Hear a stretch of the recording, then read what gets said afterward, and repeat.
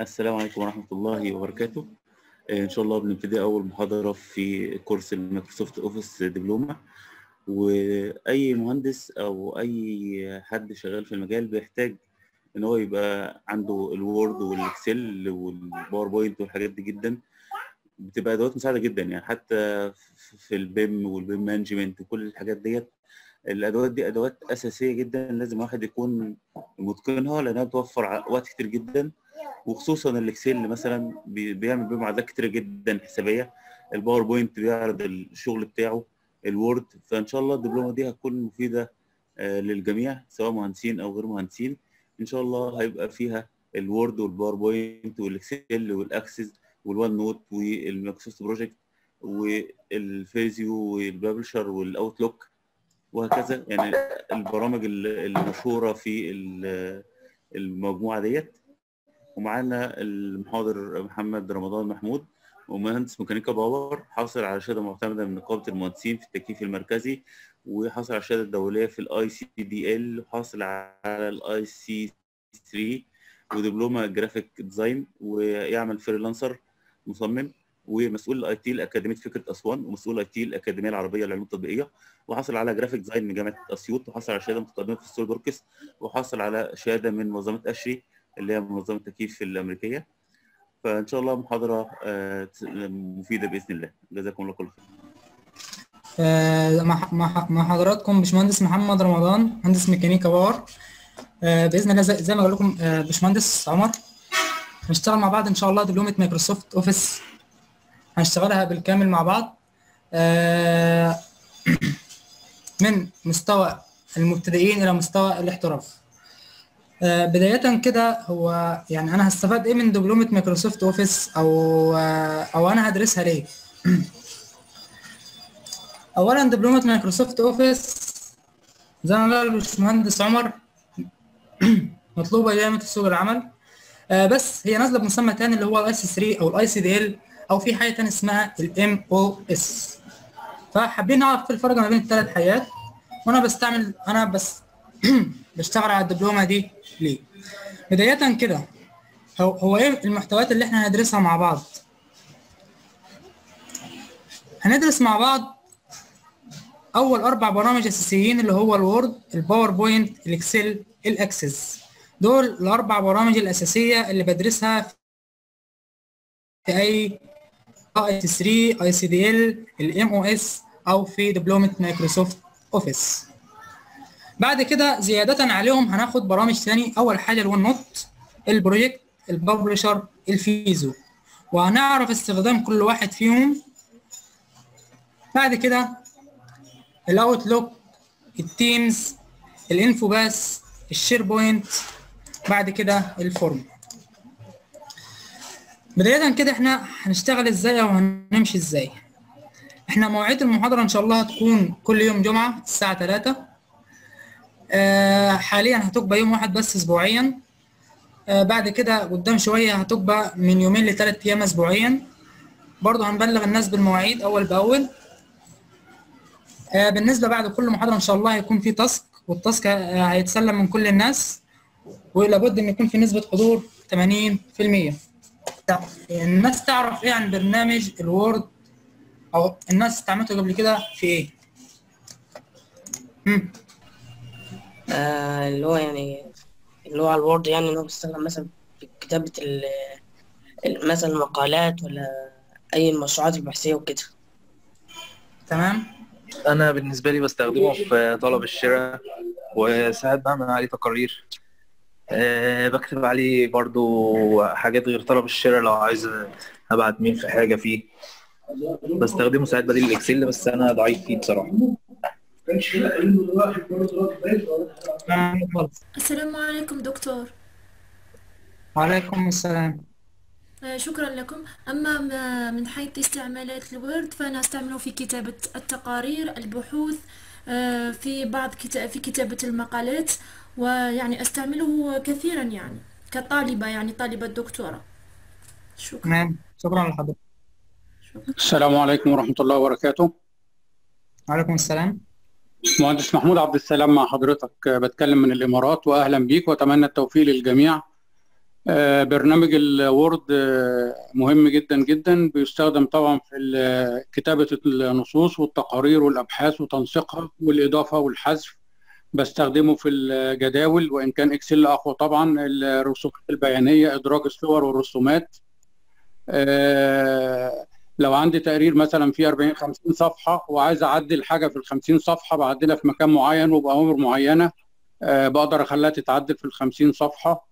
فهو برنامج مفيد ومهم ومن الأساسيات اللي مفيش غنى عنها لأي شخص في المرحلة دي يعني. شكرا لحضرتك وللجميع. شكرا لحضرتك. من كل كلام الناس لحد الآن إن كلنا متفقين إن برنامج الوورد بنستعمله للكتابة. تمام؟ الناس كلها اتفقت إن إحنا بنستعمله لكتابة النصوص آه سواء النصوص باللغة العربية أو باللغة الإنجليزية. آه بستعمله في كتابة التقارير الفنية بستعمله في كتابة الأبحاث العلمية. ليه استخدامات تانية كتير؟ فهل الناس فكرت أنا ممكن أعمل إيه تاني ببرنامج ال Word؟ هل ممكن أستعمل برنامج ال Word في عمل تصاميم ولا لأ؟ آه برنامج ال Word أنا ممكن أستعمله تاني في كذا حاجة تانية غير ال- الكتابة. آه الناس عندها فكرة أنا ممكن أعمل إيه ببرنامج ال Word تاني كتصاميم مثلا؟ آه، ممكن اللي هو يعني نستخدم ال shapes الموجودة في البرنامج ال Word يعني إن إحنا نعمل شخصيات و... وحاجات زي كده يعني اللي هو بيبقى فيه shapes مثلا مربع مثلث ممكن تقدر منها تعمل شخصية كرتونية مثلا. تمام. طب حد فكر قبل كده ان أنا آه، شهادات التقدير اللي بتطلع كان ممكن تتعمل ببرنامج إيه؟ الشهادات أغلب الناس أو معظمها بتعملها ببرنامج ال Photoshop. بس أنا بكل سهولة ممكن أستعمل برنامج Microsoft Word في عمل شهادة تقدير تمام؟ ممكن أستعمله برضو في. في عمل أغلفة كتب. أنا أنا بستعمل برنامج اسمه InDesign تبع ال graphic design بستعمله في عمل أغلفة الكتب. بس برضو أنا ممكن ببرنامج ال Word أعمل غلاف كتاب. أعمل غلاف كتاب. ونتعلم مع بعض إزاي نعمل الغلاف ونتعلم مع بعض إزاي نعمل شهادة تقدير. آه، الحاجة الثالثة إن هو بيستعمله في عمل كروت شخصية. الناس تقول لي برضو أنت كل الكلام اللي أنت بتقوله ده أنا بستعمله في ال Photoshop. يعني أنا بعمل إن أنا ممكن أعمل كارت شخصي، ممكن أعمل banner، ممكن أعمل بروشور، ممكن أعمل آه، غلاف كتاب، أعمله كله ببرنامج الفوتوشوب وال InDesign والشخصيات الكرتونية ممكن أعملها بال Illustrator. فهل الوورد بيعمل الكلام ده كله؟ آه الوورد بيعمل الكلام ده كله. أعمل بيه تصميم غلاف آه، تصميم كارت شخصي تصميم شهادة تقدير آه، بنستعمله برضو في عمل المخططات والرسومات البيانية بس برضو يعني الدارج الأكثر في عمل الرسومات والجداول البيانية هو مايكروسوفت إكسل. فاللي عرفناه إن برنامج الوورد بيستعمل في كتابة النصوص باللغة العربية والإنجليزية كتابة الأبحاث العلمية كتابة التقارير الفنية تصميم شهادات التقدير تصميم أغلفة كتب تصميم كروت شخصية تصميم بروشورات تصميم آه، بروشورات وبنرات ممكن أعمله برضه بإيه؟ بمايكروسوفت وورد بس الاستعمال الدارج ليه اللي هو كتابة الأبحاث العلمية والتقارير الفنية. هو عامة بيستعمل في الكتابة سواء باللغة العربية أو الإنجليزية. تاني حاجة ممكن ناخدها اللي هو الباور بوينت الباور بوينت الناس عندها خلفية. هو إيه الباور بوينت أو أنا بستعمله في إيه؟ أو في حد استعمله قبل كده؟ آه، أنا استعملته يعني قبل كده في إن أنا أعمل فيديوهات ك motion graphic يعني.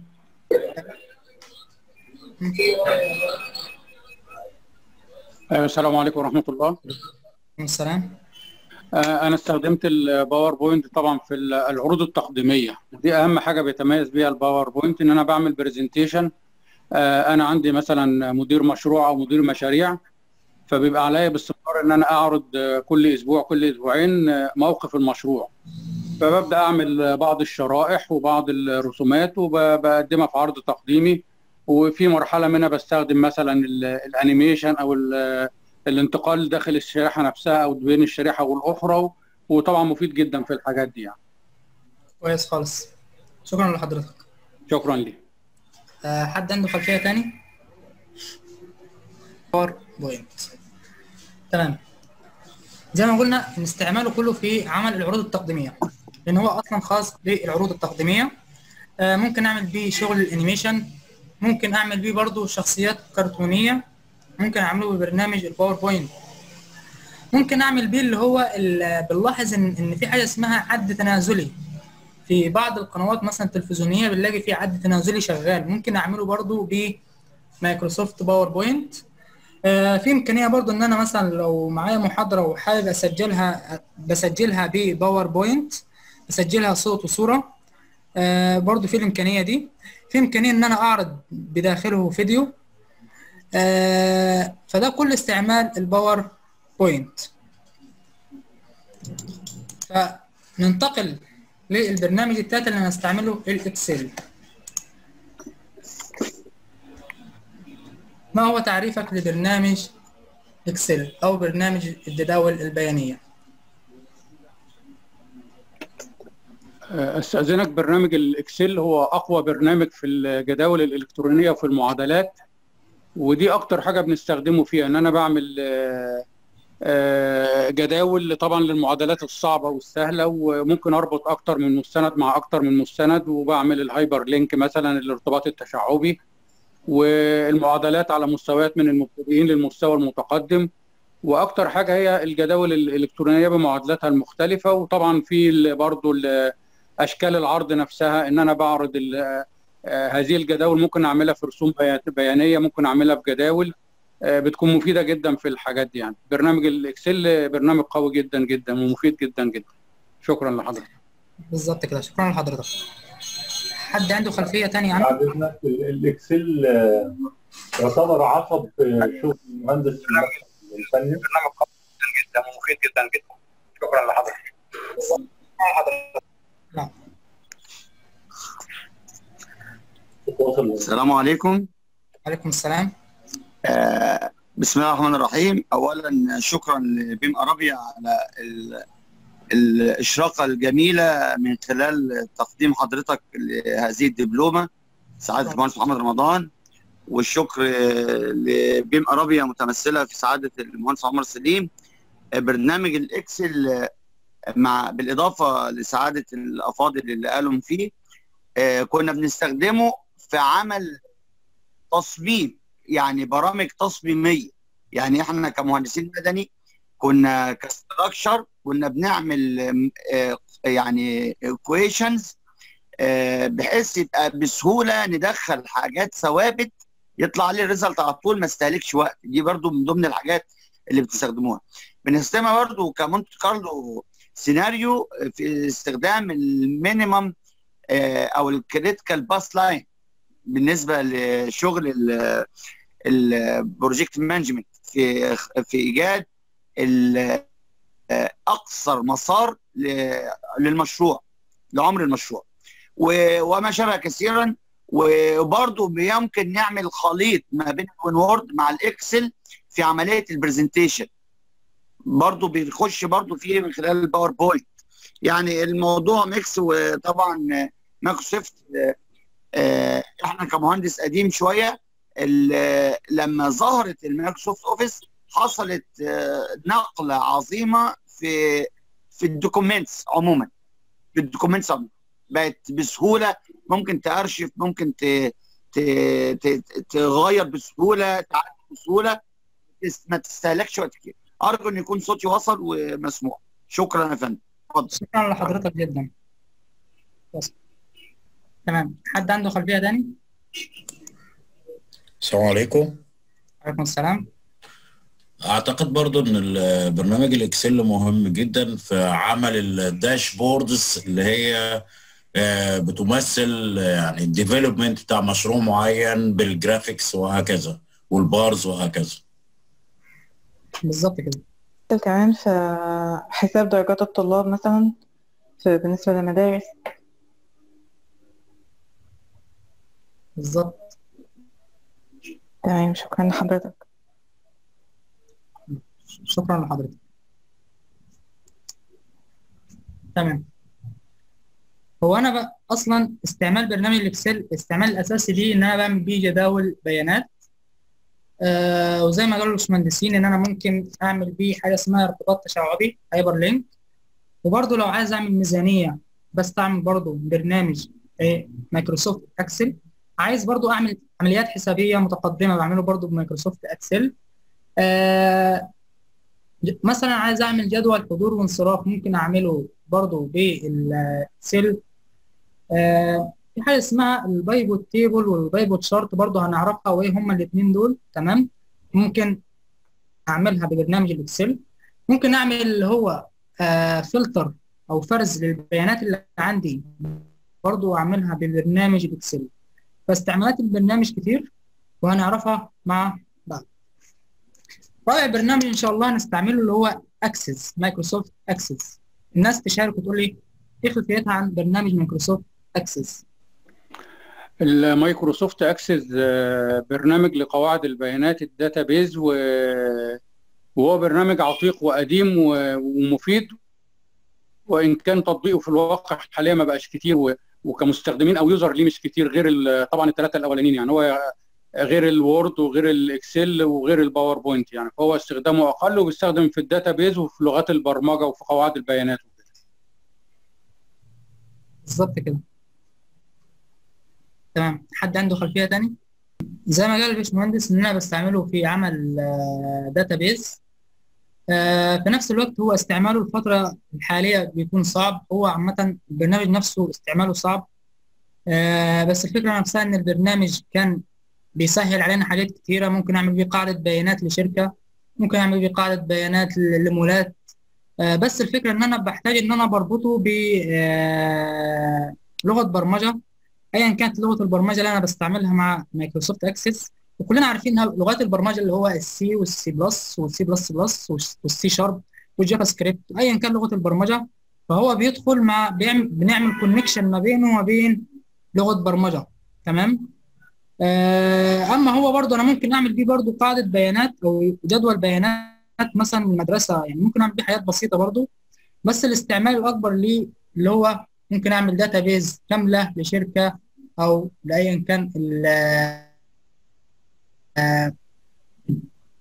المصدر اللي أنا هعمل له ال database فدول أول أربع برامج هنستعملهم Microsoft Word Microsoft PowerPoint Microsoft Excel Microsoft Access. دايما الناس اتعودت إن الأربع برامج الدارجة أو الأربع برامج الأكثر شيوعا واستعمالا هي أول أربع برامج دي اللي هو الوورد الباوربوينت الاكسل الاكسس حتى يعني أغلب الناس ال- اللي أخذت الشهادة الدولية سواء ال IC3 أو ال ICDL أو أخذت ال course نفسه كانوا بيشرحوا فيه الأربع برامج دول بس فقط ليس إلا. تمام؟ وبرضه كانت بتشرح اللي هو fundamental أساسيات فقط ليس إلا. مش بيزود لك حاجات من عنده. لكن إحنا مع بعض إن شاء الله. هنتعلم كل حاجة خاصة بالبرامج دي لحد مستوى الاحتراف آه هنعمل آه في برامج زيادة هندرسها برضه في الدبلومة. هي دبلومة كبيرة مستمرة لشهور إن شاء الله معانا. بعد الأربع برامج دول هناخد حاجة اسمها ال OneNote حد سمع قبل كده عن ال OneNote بيستعمله؟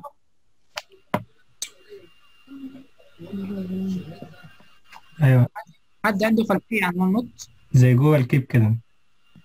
نعم؟ يعني زي Google Keep بتدون ملاحظات وتعمل note. تمام. بالظبط.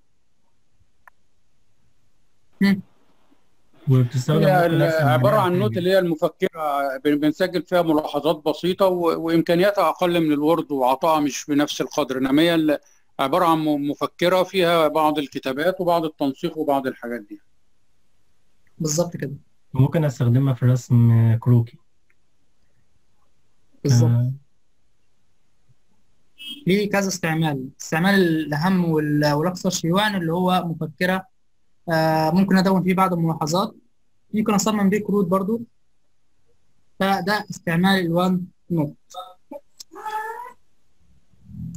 بعد كده في حاجة اسمها Project Microsoft Project حد استعمله قبل كده؟ Microsoft Project برنامج للجدولة الزمنية و آه، بيحدد طبعا أنشطة المشروع والزمن لكل نشاط والتسلسل ليها وارتباطها ببعضها وبيصدر شاشات لعرض البرنامج الزمني. آه، وإن كان طبعا في على الجانب الآخر برنامج ال Primavera بيقوم بنفس العمل وبتخصص قوي برضه فهو في منافسة بينهم وفي اتصال كبير بينهم في نفس المجال وكده. البرامج الزمنية للمشاريع تحديدا يعني. بالظبط كده.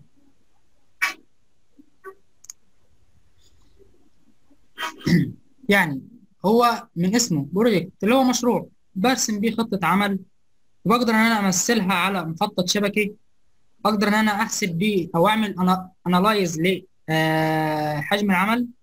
ممكن أعمل بيه متابعة للمشروع نفسه. ممكن أعمل بيه ميزانية للمشروع هنعرفه هنعرف استخدامه إيه بالظبط؟ هنعرف نستعمله مع بعض بإذن الله. بعد كده في حاجة اسمها ببلشر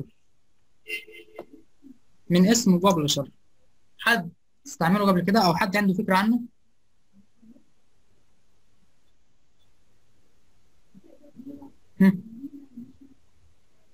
حد عنده فكرة عنه؟ السلام عليكم. وعليكم السلام. آه، مهم جدا في المنشورات في تصاميم الصور بعض الديزاين الصغير. مهم في الدعوات مثلا دعوة الأفراح والمناسبات. تصاميم حقه أرقى جدا من الورد بالظبط كده. شكرا لحضرتك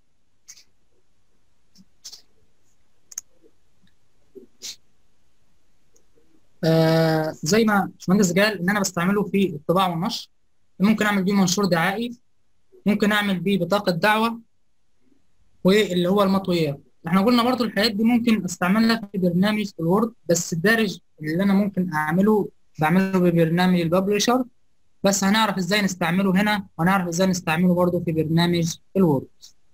بعد كده في حاجة اسمها Microsoft Visio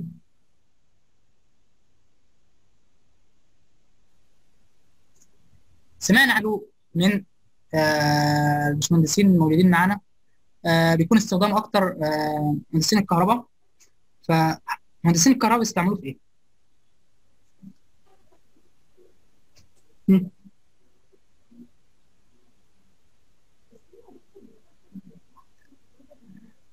هو أنا ده برنامج بعمل بيه حاجة اسمها دوائر كهربية. دوائر كهربية. تمام؟ آه وخاص برضو بالأخص بقسم هندسة هندسة الكهربية.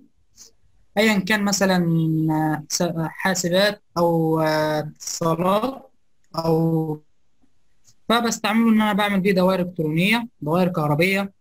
ممكن أعمل بيه اللي هو الديستريبيوشن توزيع اللي هو نفط الشبكة المدينة مثلا معينة. فده استعمال الدارج ل Microsoft Visio. بعد كده عندنا برنامج اسمه Outlook هو إيه ال Outlook الناس تشارك؟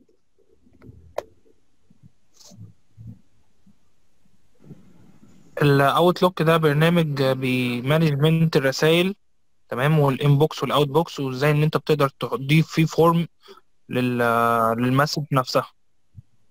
بالظبط كده. سواء Word سواء Excel سواء PowerPoint سواء أي حاجة من مشتقات المايكروسوفت تمام. شكرا لحضرتك. ال Outlook هو بالظبط equal اللي هو ال Gmail. آه قريبين. من- تمام. أنا ممكن أرسل بيه إيميلات. ممكن أرسل مثلا عندي CV عايز أرسله برسله بال Outlook أو ال Gmail. آه في نفس الوقت أنا يعني بيوفر عليا مثلا لو عايز أعمل تقويم أو في حاجة مثلا آه، عايز أحفظ تاريخها أو الكلام ده بحفظها برضو عن طريق ال Outlook فهو عامة كشكل رئيسي بستعمله في إدارة البريد الإلكتروني اللي عندي. بعد كده دخلنا على حاجة اسمها Microsoft Teams. السلام عليكم ورحمة الله وبركاته. آه،. Microsoft Team آه، برنامج قوي جدا جدا وبانت أهميته في الفترة الحالية بعد العمل عن بعد والتواصل عن بعد سواء في التعليم أو في العمل. Microsoft Team ليه إمكانيات عالية جدا جدا للي يقرب منه ويتبحر فيه. آه، أبسطها طبعا إن هو برنامج لل- للمحادثات الجماعية زي ال Zoom اللي إحنا شغالين عليه. آه، بيمكن عن طريقه إن أنت تعمل مشاركة لملفات كتيرة وتستقبل رسائل وتعمل رسائل وتعمل مكالمات صوتية ومكالمات فيديو. بيديك إمكانية إنك تعمل آه، مشاركة آه، إن أنت تفتح الشاشة اللي عندك وتدي محاضرة وتعرض كل الحاجات اللي موجودة فيها.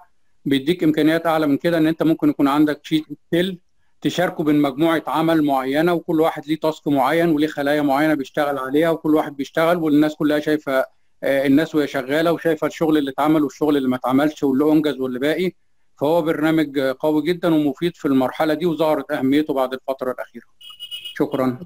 شكرا لحضرتك آه بالظبط زي ما قال الباشمهندس إن أنا بستعمله آه في عمل فصول دراسية. وفي نفس الوقت هو ايكوال بيساوي برنامج ال Zoom. آه آه، في عمل فصول دراسية في عمل آه يعني مثلا يكون في connection ما بين المحاضر وما بين بين الطلاب. فهو أهميته في كده. بعد كده دخلنا على حاجة اسمها InfoPath هل في حد استعمل ال InfoPath قبل كده؟ حد عنده خلفية عنه؟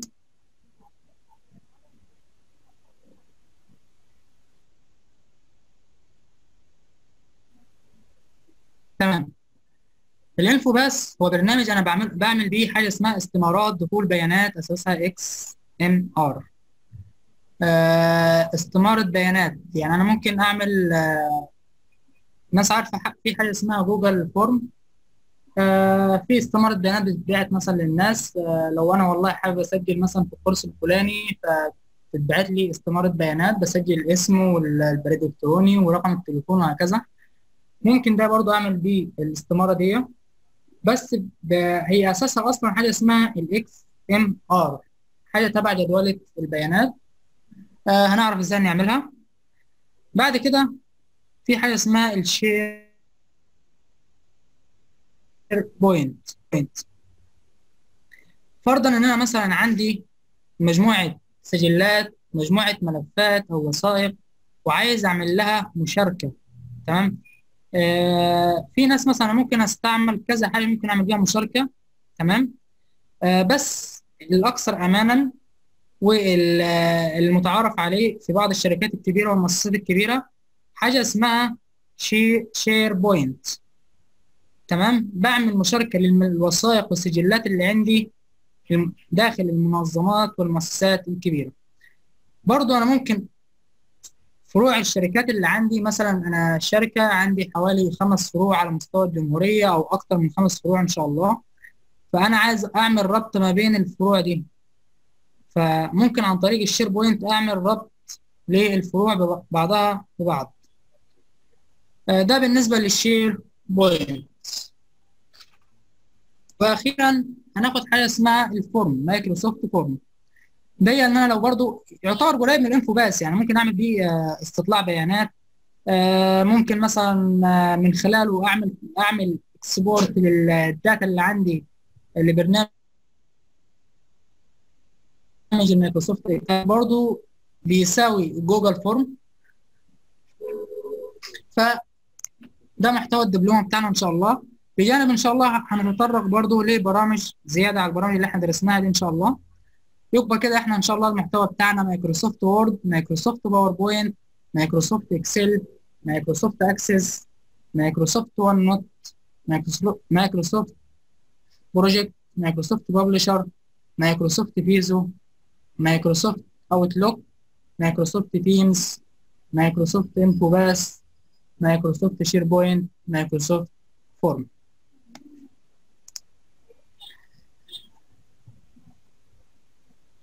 هو بداية ال- آه، الشركة كانت إمتى بالظبط؟ يعني آه، أول نسخة مطورة من البرامج دي أو أول نسخة نزلت من البرامج دي كانت سنة كام بالظبط؟ بدايتها كانت سنة 97 كان أول نسخة من Microsoft Office نزلت سنة 97 بعد كده نزلت نسخة تاني كانت سنة 2000 بعد كده 2003 2007 2010 بعد كده 2013 2016 2019 يعني بداية البرامج قبل 97 محدش كان عنده خلفية عن البرامج دي بتستعمل إزاي تمام؟ أو أصلا ما كانتش متواجدة. فلحاجة الناس لحاجة أسهل وحاجة أسرع آه، حاجة يكتبوا بداخلها مثلا نصوص أبحاث علمية حاجة يعني شركة مايكروسوفت اخترعت اللي هي البرامج اللي هي زي ما قلنا آه، برامج مايكروسوفت بالكامل. آه، برضو حتى يعني النسخة اللي كانت سنة 97 ما كانش فيها كل البرامج دي. فمع مع السنين ومع التطور مع التطور والتكنولوجيا اللي وصلنا لها لحد الآن آه، بيحصل كل شوية update للبرامج اللي عندي تحديثات للبرامج اللي عندي. فكانت زي ما قلنا أول سنة سنة 97 2000 2003 2007 2010 2013 2016 2019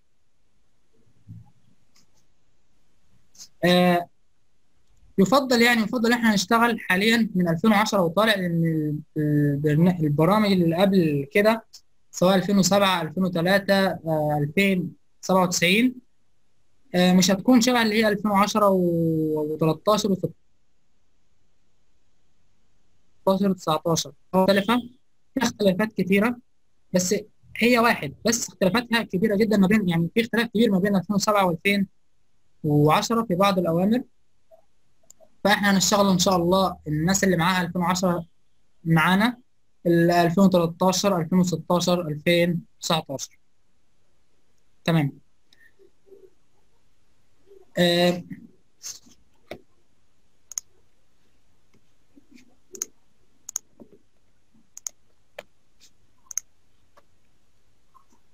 بداية كده هنعرف الفرق ما بين الاي سي دي ال الاي سي 3 والام أو اس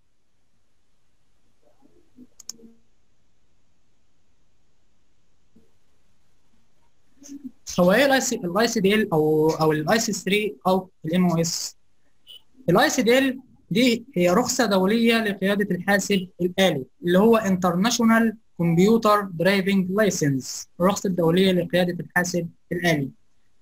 C3 اللي هو Internet Computing Core برضه الرخصة الدولية لقيادة الحاسب الآلي.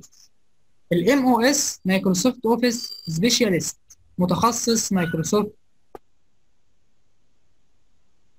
Office هو أقدم إصدار من إصدارات الثلاثه هو ال ICDL بعد كده كان في نسخة مطورة ومحدثة منه اللي هو ال IC3 فدول النسختين ل Microsoft Office. ال ICDL ليه اسم تاني اللي هو ال ECDL European Computer Driving License رخصة دولية لقيادة الحاسب الآلي. لو سمحت اعمل sharing للصفحة اللي بتعرض فيها حضرتك بعد إذنك.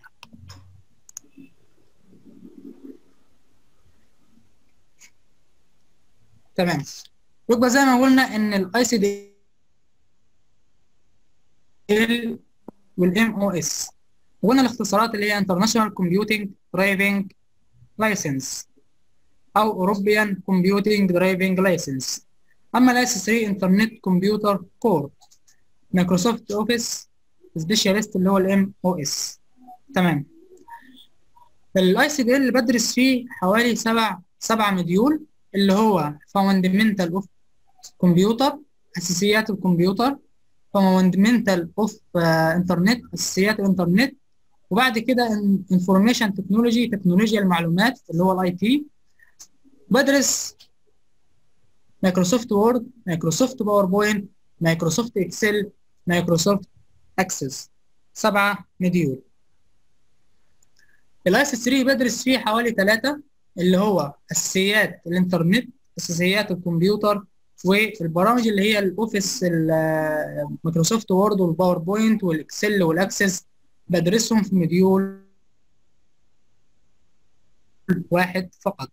اما بالنسبة لل MOS في منها ثلاث حاجات. متخصص محترف خبير.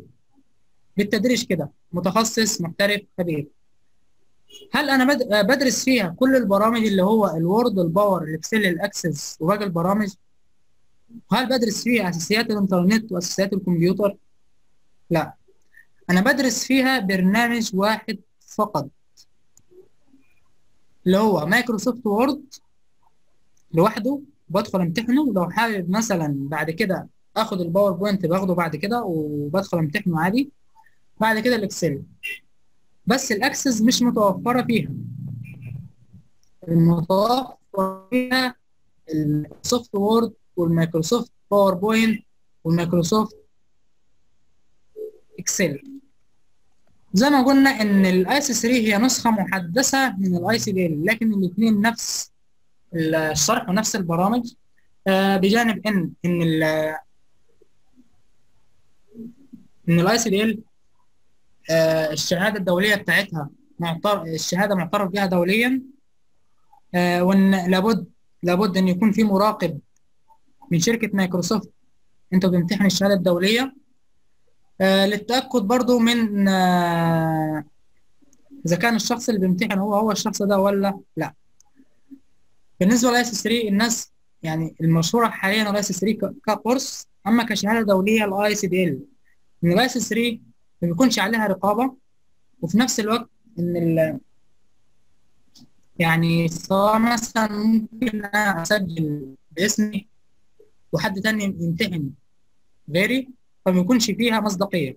فالمعترف بها دوليا ال ICDL وزي ما قلنا هنا سبعة module هنا في ثلاثة module وزي ما قلنا هو هذا في اللي هو specialist متخصص expert master.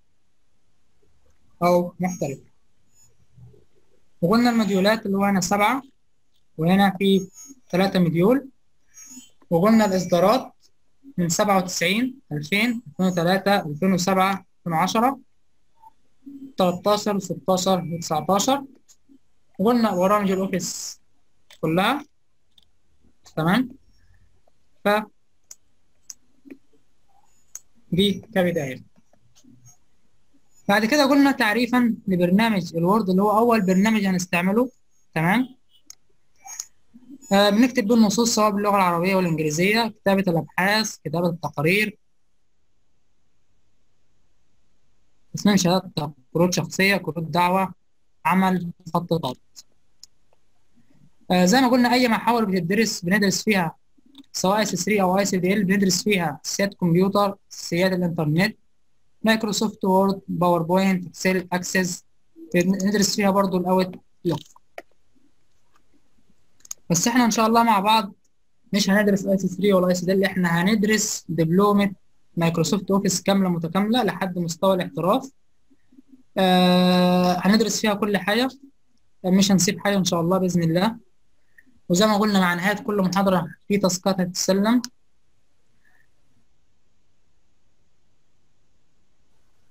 عنده أي سؤال؟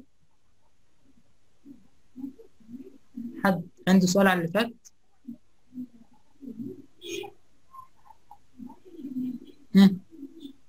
حد حابب يستفسر عن أي حاجة؟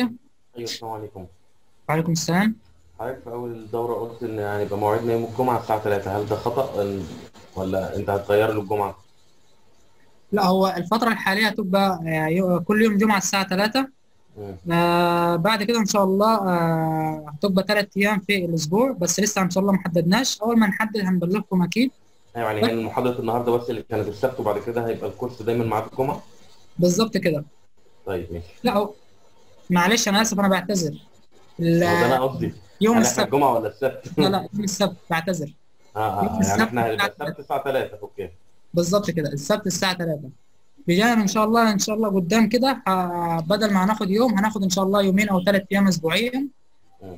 آه دي حاجة آه في حد عنده استفسار تاني؟ حد عنده السلام عليكم وعليكم السلام أستاذ حينما تحدثت عن ال Word آه، واستعماله في التصميم بدل ال Photoshop لماذا نتوجه إلى برنامج غير متخصص في التصميم ونترك برنامج كال Photoshop متخصص في التصميم. أظن أن هناك صعوبات في استعمال ال Word في التصميم بدل ال Photoshop. تمام. آه فهمت سؤال حضرتك بس آه اللي عايز أقوله لك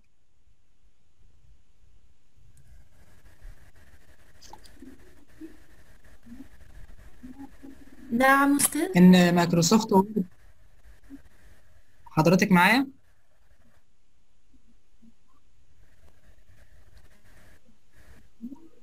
نعم نعم. معلش اللي فاتح المايك تمام. إحنا هنعرف إن إن إحنا آه Microsoft Word استعماله أسهل وأسهل بكتير من ال Photoshop. في تصميم اغلفة الكتب. آه مشكلة ال Photoshop إن أنا في أوامر كتيرة بستعملها وأدوات برضه بستعملها في التصميم. بس هو الفكرة إن هو بيكون أكثر دقة من برنامج ال Word لأن هو أساسا ده شغله. يعني ال Photoshop إحنا بنعمل بيه تصاميم سواء ايا كان أغلب آه هو غلاف الكتاب ممكن أعمله بال Photoshop وممكن أعمله ببرنامج تاني اسمه InDesign بس هنعرف إزاي نعمل كله في Microsoft Word وبكل سهوله كمان بس المشكلة مش بيكون نفس الدقة بتاعت ال Photoshop.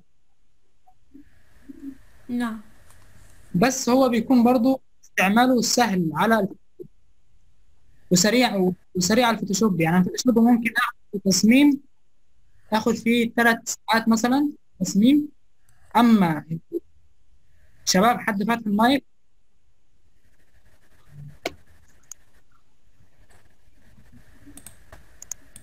فتح المايك يقفل له معلش.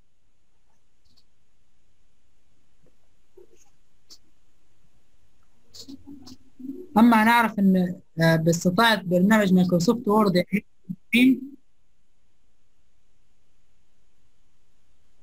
في وقت أقل بكتير من برنامج ال Photoshop. ممكن أستعمل برنامج Photoshop مثلا لمدة ثلاث ساعات. العكس ال Word ممكن أعمله مثلا في ساعة ساعة ونص. فده الفرق ما بين ال Photoshop وما بين إيه؟ ال Word. بس هو فعلا زي ما قالت إن ال Photoshop هو أساسه أصلا التصاميم. يعني محدش بيستعمله في التصاميم أساسا بس هنعرف إزاي نستعمله في التصاميم. إزاي لو أنا مثلا بإمكانيات أقل عندي ممكن أعمل تصميم؟ لو مش مش عارف أستعمل Photoshop مش عارف أستعمل Illustrator مش عارف أستعمل InDesign إزاي بال Word ممكن أعمل تصميم بسيط وسهل؟ تمام؟ وبإمكانية ممكن تكون أفضل من ال Photoshop. تمام. شكرا لك أستاذ آه، نستعمله كبديل. بالظبط كده. يعني لأن في ناس ما عندهاش إمكانية مثلا آه، إنها تستعمل Photoshop أو مش عارفة تستعمله. أو ف- برضه يعني الواحد ما عندوش إمكانية إن هو يدفع مثلا كل شهر 20 دولار مثلا. بالظبط كده. أنا أنا ممكن عن طريق برنامج ال Word عند ال Photoshop بالظبط كده. بس برضه بإمكان بإمكانه إن أنا أعمل بيه نفس التصميم اللي أنا هعمله بال Photoshop. يعني لو جربنا نعمل تصميم بال Photoshop أو تصميم بال Word أحاول أعمل مثلا التصميم اللي هنا أعمله نفس اللي في ال Word تمام؟ آه الاتنين هيطلعوا بنفس الإمكانية تمام؟ بس الفكرة نفسها في ال Word للي مش عارف يستعمل Photoshop. يعني حاجة بديلة ليه. okay طب بالنسبة معلش للفرق بالنسبة للفرق ما بين ال Excel وال Access أنا مثلا كان عندي مجموعة من ال subcontractors اللي مثلا أنا مهندس كهرباء عندي كان الكابلات وال transformers وال generator كنت بحط كل مقاول مثلا بحط رقم التليفون تبعه ال email ال contact person الحاجات دهيت. فدي كانت بالنسبة لي بتبقى على ال Excel قاعدة بيانات وبقدر أعمل فلتر لو عايز أجيب كل المقاولين تبع الكابلات بروح أعمل فلتر على ال Excel يطلع لي الكابلات بس أو ال generator بس أو كده. هل ده كان اللي بيعمله ال Access؟ بالظبط ال Access بيعمل نفس الكلام بالظبط. بس الفكرة ان إن ال إن ال Microsoft Access تمام؟ بي آه، لو نفس جدولة البيانات اللي بعملها في ال Excel بس في نفس الوقت ما بقدرش أستعمل فيه معادلات. يعني أنا ممكن مثلا في ال Excel بستعمل معادلات اللي هي الصم والافريج والماكس والمينيمم تمام؟ لكن أنا ما أقدرش أستعمل المعادلات دي في ال Access. فهو فايدة ال Excel عن ال Access إن أنا في مثلا لما باجي أعمل database في ال Excel بستعمل معادلات. هل في ال Access بعرف أستعمل المعادلات دي؟ للأسف. في ال Access بستعمله من غير معادلات. بس برضو في حاجات بسيطة ممكن أستعملها في ال Access يجيب لي نفس اللي أنا عايزه في ال- في ال Excel بس في نفس الوقت ما بيكونش مثلا ل database كبيرة. يعني ال Excel أنا ممكن أعمل جدولات بيانات كبيرة. أما ال Access هتكون هي يعني لحاجه بسيطة زي مدرسة زي آه، لشركة صغيرة زي لمركز تدريب. وفي نفس الوقت استعمال الزياده لل Access عن ال Excel إن أنا بعمل بيه قاعدة بيانات لشركة كبيرة آه، plus إن أنا بربطه ب آه، لغة برمجة. هو مش بيستعمل لوحده بستعمل معاه لغة برمجة. بس اللي إحنا هنتعلمه في الكورس إن شاء الله هنتعلم إزاي بعمل بيه جدولات البيانات وهنعرف الفرق ما بينه وبين ال Excel. هنستعمل الاثنين مع بعض وهنشوف آه إيه ميزة ال Excel عن ال Excel في بعض الأمور. هو أنا أعتقد استخدمت زمان ال Access مرة عملت بيه قاعدة بيانات. اللي كانت الميزة اللي فيه إن أنا عملت مثلا صيغه form ه على ال Word موجهه لل contractors وكنت بخليه إنه يستخدم ال contractors اللي في ال Access إن هو يحط اسمه ورقم تليفونه في الفورمه يعني هي فورمه موحدة على ال Word وأبقى ياخدها من ال Access ويعمل بقى خطاب لكل شركة. أنا فاكر عملت حاجة زي كده. بالظبط. من زمان قوي طب هل هيكون في جزء ال Visual Basic على ال Excel ولا لأ؟ أنت حضرتك قصدك يعني في الدبلومة نفسها؟ أيوه. آه بإذن الله. هنتطرق ليها تمام. تمام. آه كده عرفنا الفرق ما بين برامج برنامج التصميم الفوتوشوب والوورد والاكسل والأكسس وهنعرفه أكتر لما ندخل فيهم إن شاء الله. آه، حد عنده استفسار تاني قبل ما نبدأ؟ السلام عليكم ورحمة الله وبركاته. وعليكم السلام. يعطيك العافية مهندس. الله يخليك. مهندس عندي استفسار بخصوص ال Access وال SharePoint هل بالإمكان ربط ال Access بال SharePoint أو لا؟ database كاملة. بالامكان ان أنا اربط ما بين ال SharePoint وما بين ال Access. تمام؟ زي ما إحنا قلنا ان نعم. زي ما قلنا ان ال Access ده هو برنامج بيانات. وزي ما قلنا تحت برضو ان ال SharePoint ممكن من خلاله أعمل ربط ما بين فروع المؤسسة كلها بالكامل. آه بس هعمله مثلا أنا عايز أربط ما بين مثلا مؤسسة ومؤسسة تمام؟ أو ما بين مثلا آه فرع وفرع. آه لازم أدخل حاجة فيها اسمها Access تمام؟ لأن ال Access برضو بيربط ما بين المؤسسات المؤسسات بتاعة الشركة أو فروع الشركة. فبعمل connection ما بين ال- ال SharePoint وما بين ال Access. لأن أنا مش هقدر أستعمل ال SharePoint في ربط فروع المؤسسة من غير ما أستعمل معاها ال Access لأن لأن ال- البرنامج الأساسي اللي بستعمله في الربط هو ال Access وليس ال SharePoint البرنامج الأساسي اللي بستعمله في الربط هو ال Access وليس ال SharePoint ال SharePoint ما هو إلا مجرد يعني مساعد لل Access تمام؟ آه بس الاختلاف ما بين الاثنين إن ال SharePoint آه ممكن يعمل لي مشاركة مثلا لوثيقه أو سجلات ممكن ال Access ما يعملهاش. لكن في خلال من خلال ربط فروع المؤسسة بالكامل ببعضها البعض ممكن أعملها عن طريق إن أربط ال SharePoint بال Access ونتعلم كل ده مع بعض ونعرف إزاي نعمل ربط و بين فرع والتاني.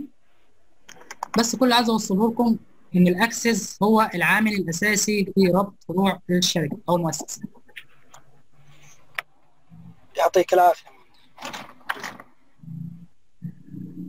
آه، تمام. حد حابب يسأل أي سؤال تاني؟ البرامج المتداولة معانا ونازلة معانا مع المايكروسوفت هي ال Word وال Excel وال PowerPoint الحاجات الباقية مش مش نازلة معانا مثلا زي ال Access وزي ال SharePoint وزي ال InfoPath والحاجات دي. فلو. جينا في مرحلة إن إحنا هناخد عليها task ات أو مسائل أو مهمات أو حاجة بيكون التصرف إزاي يعني؟ آه إن شاء الله بإذن الله على group ال WhatsApp أنا هبعت لكم رابط تحملوا منيها البرامج الباقية دي إن شاء الله. آه سواء لو عايزين تحملوها باللغة العربية والانجليزيه فيا ريت الناس تتابع group ال WhatsApp وتتابع برضو ال- ال group بتاع ال- الفيسبوك. هينزل عليها الروابط بتاعة تحميل البرامج دي. تمام؟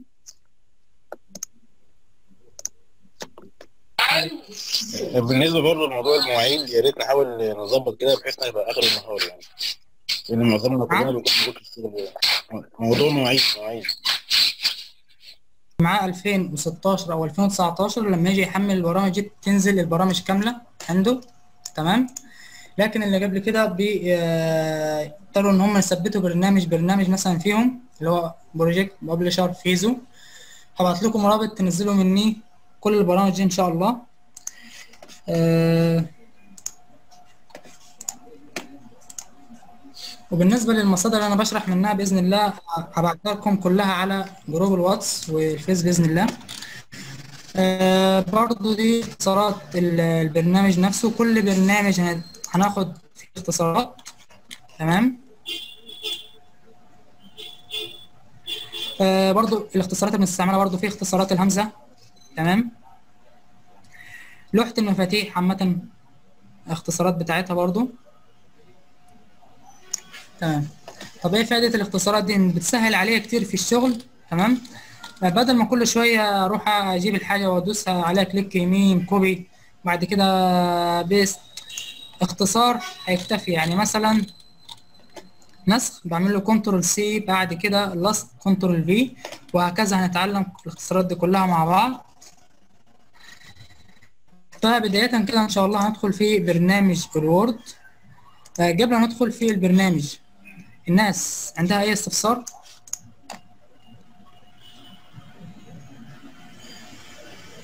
قبل ما ندخل الناس عندها أي استفسار؟ طب الناس معايا.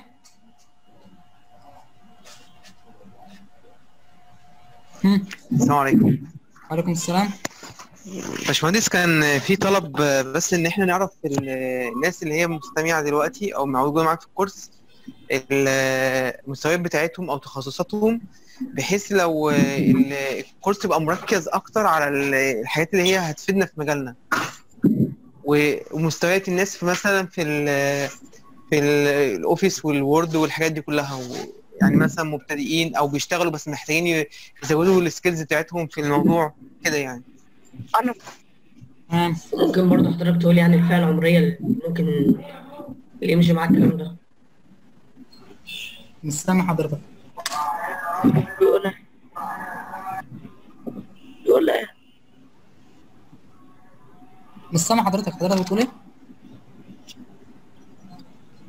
أنا أنا محمد أنا محمد عبد الرازق. أنا أعيد كلامي تاني ولا حضرتك بتتكلم حد تاني؟ لا أنا أنا أنا سمعت سمعت كلام حضرتك. ماشي تمام. هو اللي عايز أوصله لحضرتك ان إن زوم حوالي فيه يعني حوالي 100 فرد بجانب إن في ناس ثانية برضو بتتابعنا في البث المباشر. فالفكرة نفسها إن أنا أعرف تخصصات الناس دي كلها هيكون صعب شوية. بس هو الفكرة ان إن إحنا مش معانا مثلا تخصص واحد بس إحنا معانا كذا تخصص. يعني في مهندسين آه، في ناس آه، خريجة مثلا كليات تربية كل آه، كليات علوم كلية علوم ففي كذا تخصص. فالفكرة نفسها أنا هديك كل حاجة خاصة بالبرنامج اللي أنت ممكن تستعمله كل حاجة من مستوى المبتدئ لحد الاحتراف. بحيث إن أنا كمهندس أو أنا كمدرس أو كمحاضر أقدر أستعمله. وهيكون بإذن الله الشرح بتاعنا مركز على كل التخصصات مش تخصص واحد فقط. تمام؟ أنا كل الفكرة من ال- الدبلومة إن أنا أحاول أديكم كل حاجة خاصة بالبرنامج زي ما بيقولوا من الألف للياء يعني حتى خبايا البرنامج تكون عارفها. فالشرح بتاعنا إن شاء الله. حد بيتكلم؟ فالبرنامج آه، البرامج إن شاء الله وشرحها مش هيكون مركز على حاجة معينة. هتبقى مركزة على كل تخصصات وكل الفئات فالناس تتابع معايا. لحظة بلحظة. وبإذن الله الكل يطلع مستفاد من الدبلومة. آه وانتوا أنتوا بنفسكم هتقيموا نفسكم مع بداية الدبلومة ومع نهاية الدبلومة. وهتشوفوا النجاح إن شاء الله هتوصلوا الدبلومة. بس الناس تتابع وتلتزم وتسلم التاسكات أول بأول. لأن برضو الحاجة محتاجة إن الواحد يراجع عليها بدل المره عشرة يسلم تاسكات. لأن الفكرة البرامج دي لو اتسابت هتتنسي. فلازم كل فترة والتانية أشتغل عليها. يعني حتى مثلا برنامج ال Word أنا مش بستعمله مثلا في الكتابة فأنا عايز أدخل أستعمله أعمل إيه؟ ممكن عادي أعمل عليه أي تصميم آه، ممكن آه، أعمل أعمل شكل عليه. ممكن مثلا أرسم آه، رسومات عليه. ممكن مثلا أعمل تصميم منزل عليه. فكذا حاجة ممكن أعملها عن طريق برنامج ال Word. ال Power نفس القصة. آه، ال Excel ال Access وهكذا. فهو ال- الدبلومة إن شاء الله مش هتكون مركزة على فئة معينة أو تخصص معين هتكون شاملة بإذن الله كل التخصصات. وبرضو اللي محتاج حاجة معينة في البرامج دي ممكن يبعت لي. وأنا برضو في خلال الشرح مثلا لو ما اتطرقتش ليها ممكن نرجع لها ونشرحها تاني. وصل لك كلامي؟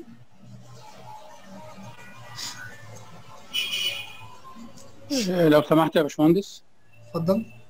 استاذن حضرتك يكون في weight ووزن لكل برنامج حسب أهميته في التطبيق والاستخدام. يعني عندي مثلا ال Word وال Excel وال PowerPoint هيبقى ليها weight ووزن واهتمام في الوقت والمساحة غير بقية البرامج يعني طبقا لاستخدام الناس ليها يعني. وطبعا القرار في الآخر لحضرتك يعني. أكيد. هو أكتر برنا- برنامج هن- هنستعمله أو هياخد وقت معانا اللي هو Microsoft Word يعني ممكن يعدي فوق ال 50 ساعة معانا. آه لأن لأن أنا طالما عرفت برنامج ال Word كده أنا هعرف 70% من برامج الميكروسوفت الثانية ان أغلب الأوامر اللي أنا هستعملها في برنامج ال Microsoft Word هستعملها برضو في ال PowerPoint هستعملها برضو في ال Excel هستعملها برضو في ال Access وهستعملها في باقي البرامج اللي إحنا قلنا عليها اللي هو الببلشر والبروجكت والفيزو والوان نوت والفورم وهكذا. فأنا شغلنا الأساسي كله إحنا لازم على الأقل نتمكن من برنامج ال Word يبقى شغلنا كله عليه. معظم وقتنا هيكون عليه في ال- كبدايه بس إن شاء الله يعني بعد ما نخلصه باقي البرامج هتتشرح.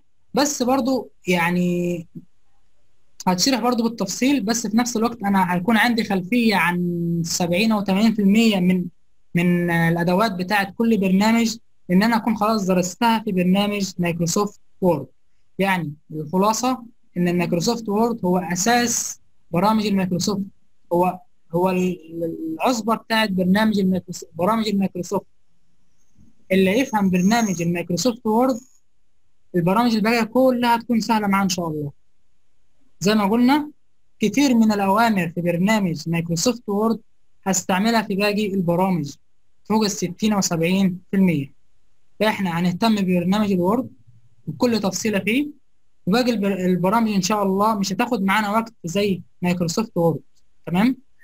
كل الفكرة من الدبلومة إن أنا عايز يعني الناس إن شاء الله بعد ما تخلص تكون طلعت بمستوى غير اللي هي دخلت بيه يعني حاجة مختلفة تماما. آه، وعارفه استعمال كل البرامج دي؟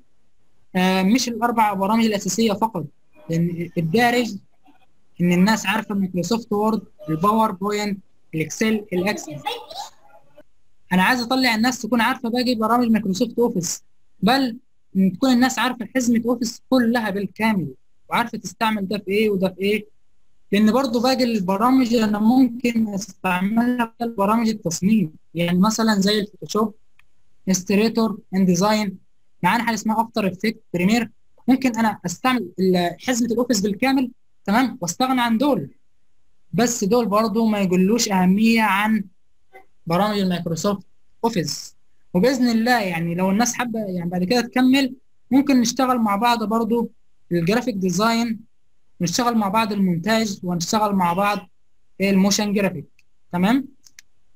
فكل الفكرة إن اللي مش هيقدر يستعمل برامج الجرافيك اللي هو ال Photoshop وال Illustrator InDesign ممكن بكل سهو- سهولة يستعمل حزمة Office. هذه حاجة سهلة عليه وحاجة في متناول الإيد وحاجة برضو مش محتاجة إمكانيات كبيرة. يعني برامج المونتاج وبرامج. ال motion برامج الجرافيك محتاجة مواصفات عالية. تمام؟ فمايكروسوفت حزمة مايكروسوفت مش شرط إنها تكون مواصفات عالية بس اللي هي التحديثات الأخيرة اللي هي 16 و 19 محتاجة مواصفات.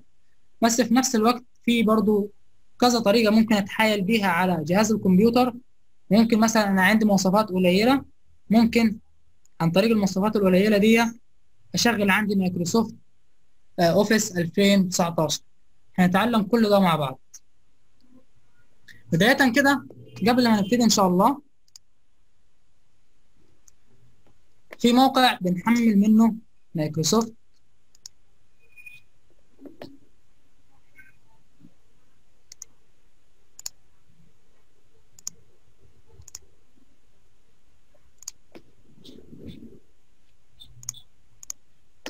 تمام؟ موقع اسمه MEGA. موقع اسمه MEGA. أنا لو فتحت الموقع ده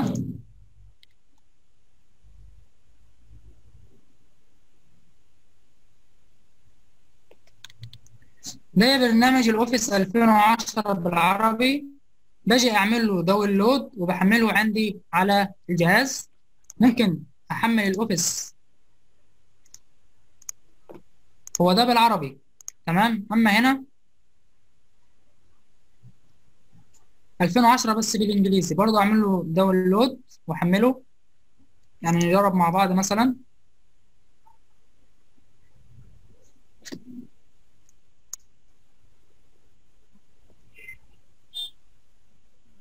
هو إحنا هو هيعد معاك هنا بعد ما يعد. عشان برضه ما ياخدش وقت مننا آه بعد ما ينزل عندك عشان تشغله. تمام؟ نفس القصة بعمل داونلود هنا ده 2013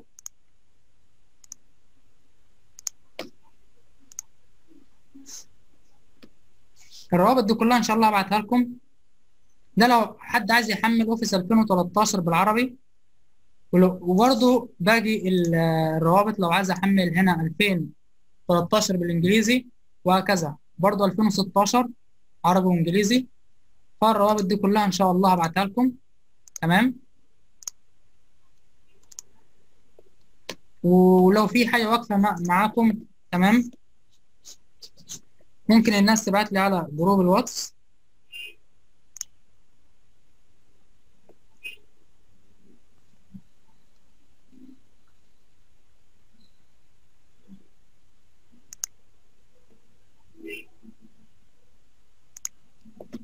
أو الناس ممكن برضو تبعت لي على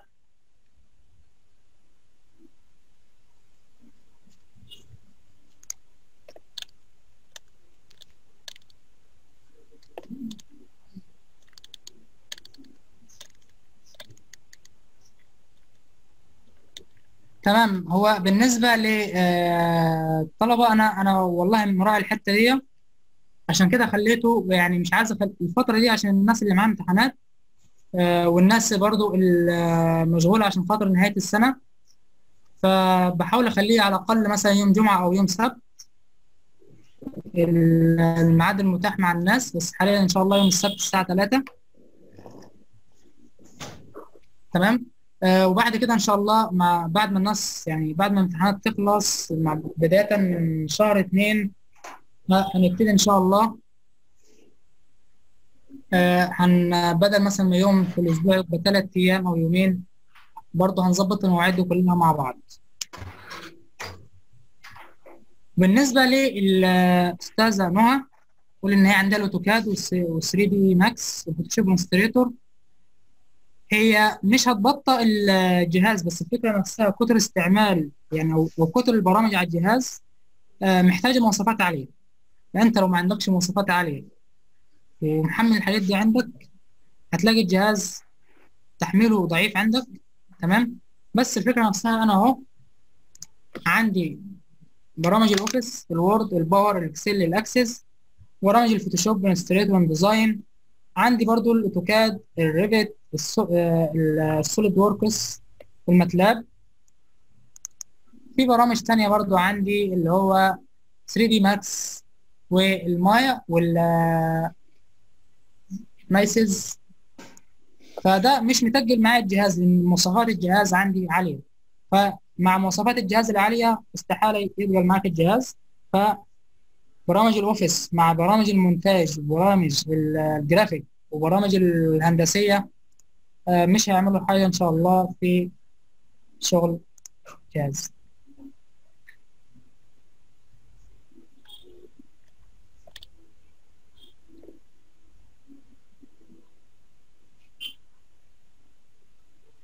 تمام. أنا بالنسبة للرابط أنا قلت إن شاء الله بإذن الله هبعته لكم بالكامل.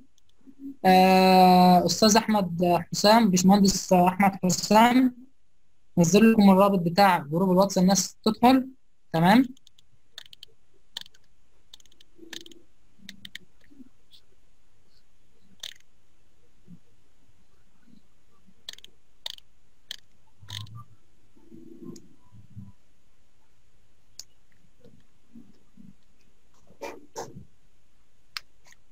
طيب هو ميعاد الساعة 3 يعني هو لحد الآن المناسب هو الساعة 3 تمام؟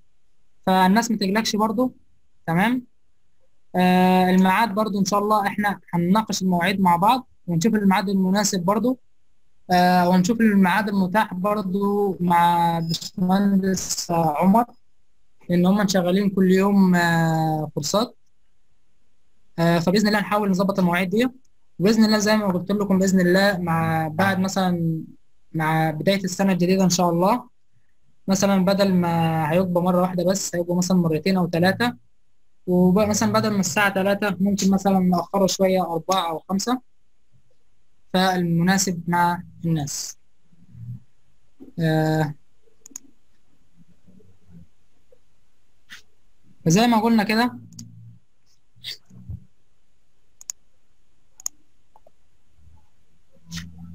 قلنا روابط التحميل. هبعت لكم ست روابط ل Microsoft Office 2010 عربي وإنجليزي 2013 عربي وإنجليزي و16 عربي وإنجليزي. واللي عايز 2019 برضه هبعته له. فتابعوا group الواتس إن شاء الله وكل ده هينزل عليه. وبإذن الله إن شاء الله هنحاول ننزله على group الفيس بالنسبة للناس اللي مش على group الوا- الواتس. فاللي مش على group الواتس يتابع معانا برضه يتابع مش مهندس عمر. تمام؟ عشان ندخله على group الواتس.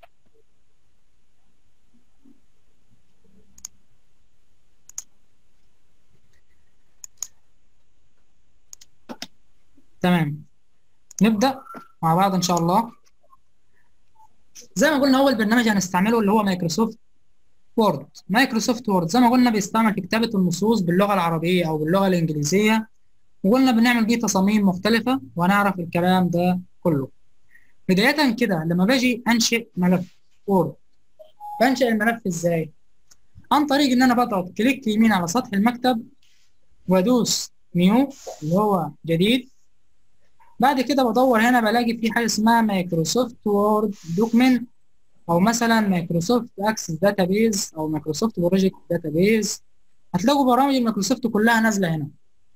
وعلى أساسها أنا بعمل إنشاء للملف اللي عندي.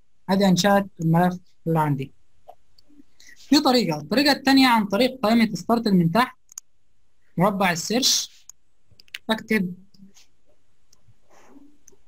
ال Word. وأدي ظهر لي برنامج ال Word وممكن أفتحه عن طريق الضغط عليه.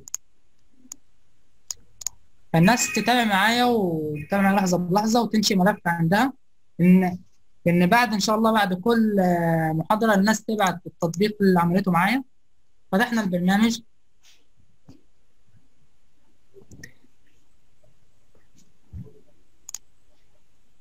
ادي واجهه البرنامج الأساسية. تمام. البرنامج نفسه زي ما قلنا برنامج Microsoft Word زي ما قلنا بيستعمل في كتابة النصوص باللغة العربية والإنجليزية. مما يتكون برنامج ال Word. برنامج ال Word بيتكون من أربع أشرطة رئيسية. أول شريط اللي هو فوق خالص اسمه شريط العنوان. New Microsoft Word Document اللي هو عنوان الملف اللي أنا بكتب بكتب جواه. ده اسمه شريط العنوان.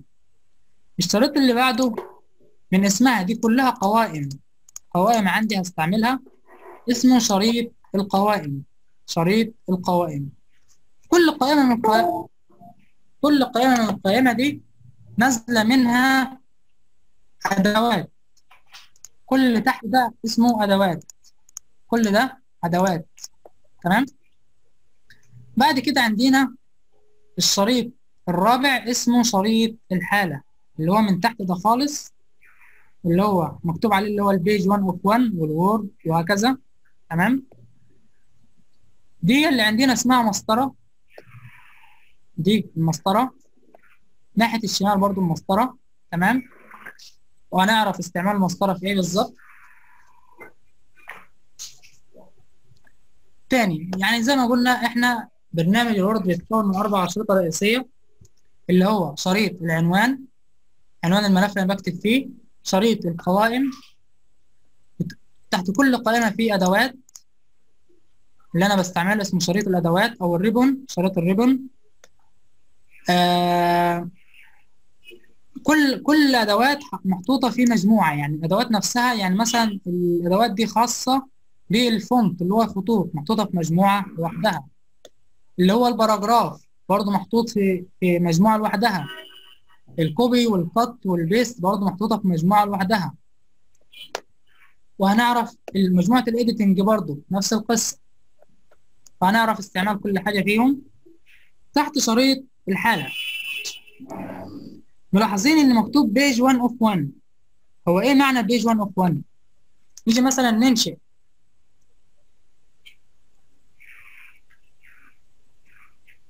انشأنا ملف صفحة تانية. وأنا كده واقف في الصفحة الأولى. فهو بيقول لي page 1 of 2 معناها إن أنا واقف في الصفحة الأولى من من عدد صفحات ال Word اللي هي اتنين. يبقى الاتنين دي عدد صفحات الملف اللي انت فاتحه. الواحد دي هو ال- الصفحة اللي أنا واقف فيها. يعني أنا كده أنا واقف في الصفحة الأولى من عدد صفحتين. كده أنا واقف في الصفحة التانية. أجي مثلا أجرب أكتب مثلا أي حاجة.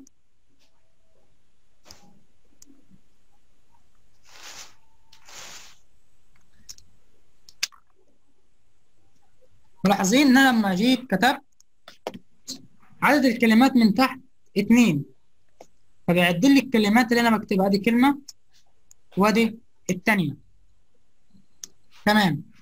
معنى كده إن أنا مثلا لو كنت بكتب بحث علمي فبيقول لي مثلا عدد الكلمات لا يتخطى الألف ونص أو لا يتخطى الألفين ونص. فلازم أخلي بالي من الوردز اللي هي الكلمات اللي من تحت.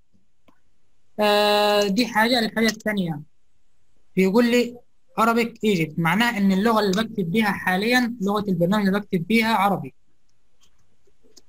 كده لغة البرنامج إنجليزي. غيرتها إزاي؟ عن طريق Alt وشيفت لغة الكتابة داخل البرنامج. نيجي هنا طريقة العرض. عايزها مثلا عايزها مثلا للقراءة فقط. بدوس عليها. هي ظهرت لي للقراءة فقط.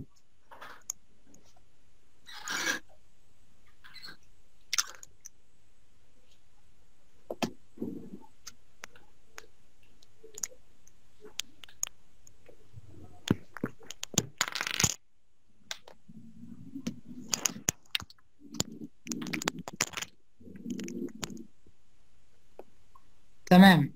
يا إما اخليها للقراءة فقط يا إما اخليها في وضع ال print layout الوضع اللي إحنا فيه ده.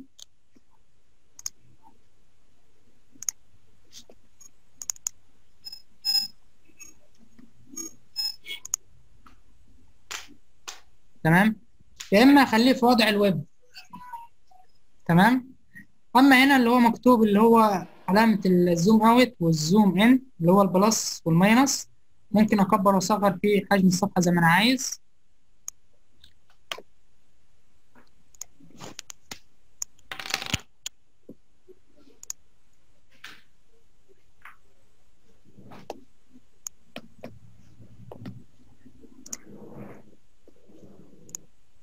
تمام؟ ودي الواجهة الأساسية بتاعة البرنامج. آه، في حاجة نسينا نقولها في شريط العنوان. على ايدنا الشمال في حاجة اسمها quick access bar شريط الأدوات السريع. هو إيه شريط الأدوات السريع؟ يعني مثلا أنا واحد بستعمل برنامج المايكروسوفت على طول بعمل مثلا آه نسخ ولصق طباعة حفظ وحفظ الاسم وفتح. فالقوائم أو الأدوات اللي بستعملها كتير بخليها في شريط ال quick access bar شريط الأدوات السريع. إزاي مثلا؟ أي أداة عايز أخليها فوق مثلا باجي على الأداة نفسها؟ أخليها ال add to quick access bar اتحطت في ال access bar اتحطت فوق أهي. عايز أشيلها؟ click يمين عليها وأدوس ريموف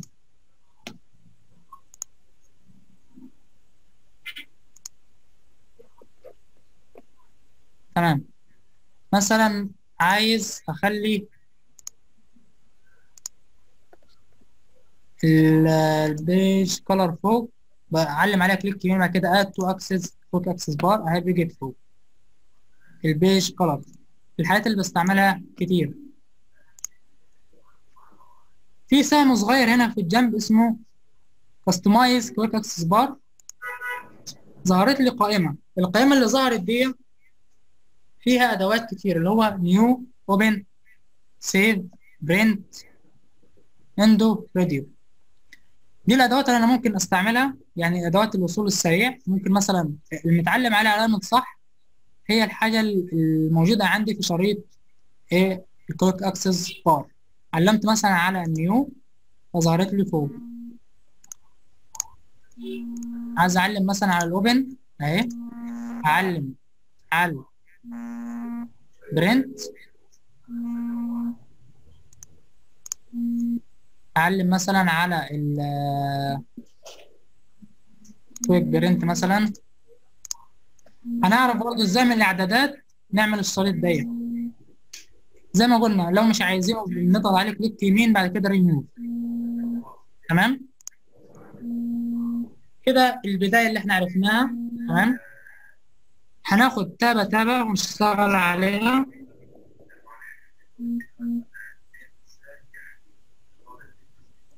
أول حاجة تابة هناخدها تابة اسمها فايل.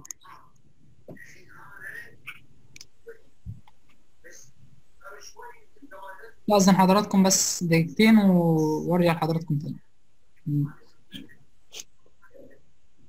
لو سمحت يا باشمهندس. باشمهندس. اتفضل مع حضرتك. نخليها خمس دقايق نصلي المغرب بس بدل دقيقتين. طب خلاص خمس دقايق الناس تصلي وهنرجع تاني. خمس دقايق اللي معاه حاجة يعملها وهنرجع. خمس يعني أربعة ونص نكون متواجدين. أربعة ونص. إن شاء الله في تاب فايل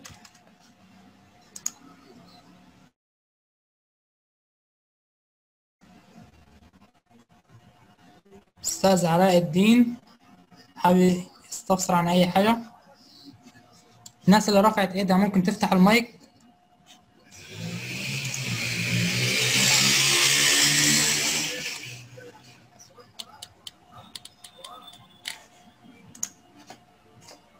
تمام. قبل ما أكمل في حد حابب يسأل عن أي حاجة من اللي فات؟ هم.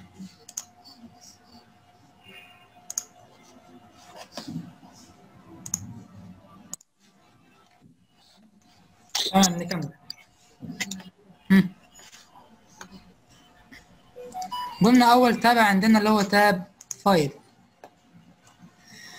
tab file فيه كذا حاجة. اللي هو ال home new open info save save as print share export close account وال feedback وال option ال home اللي هو الواجهه الأساسية بتاعه ال file عندنا حاجة اسمها new. هنلاقي هنا template كتير عندي ممكن أستعمل كذا template دي لو عايز أعمل صفحة Word بس فاضية. ممكن أعمل ال Word مثلا أهو برشور لمطعم ممكن أفتحه أدوس عليه أدوس create أهو ظهر لي. ممكن أشيل الكلام اللي عندي وأكتب زي ما أنا عايز اللي أنا عايزه. تمام؟ وأدي ال design وأدي ال layout هنتعلم كل ده. أدي أدي تصميم. في تصميم برضو تاني ممكن ده تصميم شبيه لتصميم غلاف كتاب برضو تصميم شهادة تقدير. آه، هنا برضو لو حد عايز يحط مثلا صفحة غلاف لتقرير أو أيا كان إيه مثلا لكتاب. هنا مثلا عايز أعمل برضو صفحة غلاف آه، لتقرير. آه، المنيو بتاع المطعم برضو ممكن أعمله. أدوس على حاجة اسمها ال more template. ظهرت لي template كتيرة. أهي. هنا آه، شكل ال CV هنا مثلا لو عايز أعمل اللي هي الشهور اللي هي ال- ال calendar. آه مثلا عايز أعمل CV أهو. في أشكال كتير عندنا أهو غلاف كتاب. أدي مثلا تصميم شهادة تقدير هنتعلم إحنا نصمم الشهادة إزاي. تحت هنا خالص في عندي كذا حاجة. في مثلا اللي هو إيه بيقول لك إيه اقتراحات البحث عندي ال business اللي هو حاجات الخاصة بإدارة الأعمال بدوس عليها. أغلب الحاجات دي لابد إن يكون عندي آه، نت عشان يشتغلوا معايا. فظهرت عندي كذا تمبلت أهي. ممكن أدوس على أي تمبلت فيهم وأعدل فيه زي ما أنا عايز. دي كلها تمبلت جاهزة عندي. ممكن استعمل التمبلت اللي أنا عايزها أهي. تمام؟ كلها أشكال لتمبلت مختلفة عندي. وإحنا برضه بإمكاننا إن إحنا نعمل نعمل يعني نصمم كذا template بنفس الشكل كده. ونصممه كله ببرنامج الـ Word برضه هل ينفع؟ آه ينفع. وهنعرف نتعلم هنعمل الكلام ده إزاي. بعمل باك card اللي هو الكروت اهي كروت كلها أشكال لكروت مختلفة. بعد كده في حاجة اسمها الـ flyer. الناس اللي بتستعمل Photoshop هتعرف الـ flyer. آه ال- الورق اللي بتوزع لنا في الشارع ده الورق اللي بيكون أبيض وأسود أو ورق ألوان ده اسمه flyer. تمام اهو. ممكن مثلا آه، بعمل حاجة بنزلها على الـ social media فبنزلها عن على flyer اهي. دي كلها أشكال مختلفة للـ flyer. عندي برضو اللي هو الخطابات. letter لو عايز أبعت خطاب مثلا لشركة خطاب لشخص تمام من هنا. برضو اللي هو لو عايز أعمل حاجة خاصة بالـ education تعليم. أهي. عندي template كتيرة و template جاهزة. أشكال مختلفة. آه، الـ template دي دي خطوات الأخرى. يعني مثلا 2013 هتلاقي فيه template غير 2019 آه، 16 هكذا. بس يبقى بنفس الكيفية برضه الـ resume and الـ cover letter resume سيرة ذاتية. آه هنتعلم برضو إحنا ببرنامج Word إزاي نعمل CV وازاي نعمل resume. وهنعرف الفرق ما بين الاثنين إيه. آه holiday اللي هو الأجازة. لو عايز أعمل تصميم اهو لرأس السنة holiday party مثلا. دي كلها تصاميم جاهزة ممكن أعملها ببرنامج فرضا أنا مش عاجباني أي تصميم من التصاميم دي عايز أعمل عايز أعمل أجيب تصميم تاني. بيقول لي هنا search for online template أعمل بحث عن الـ template اللي أنا عايزها. يعني مثلا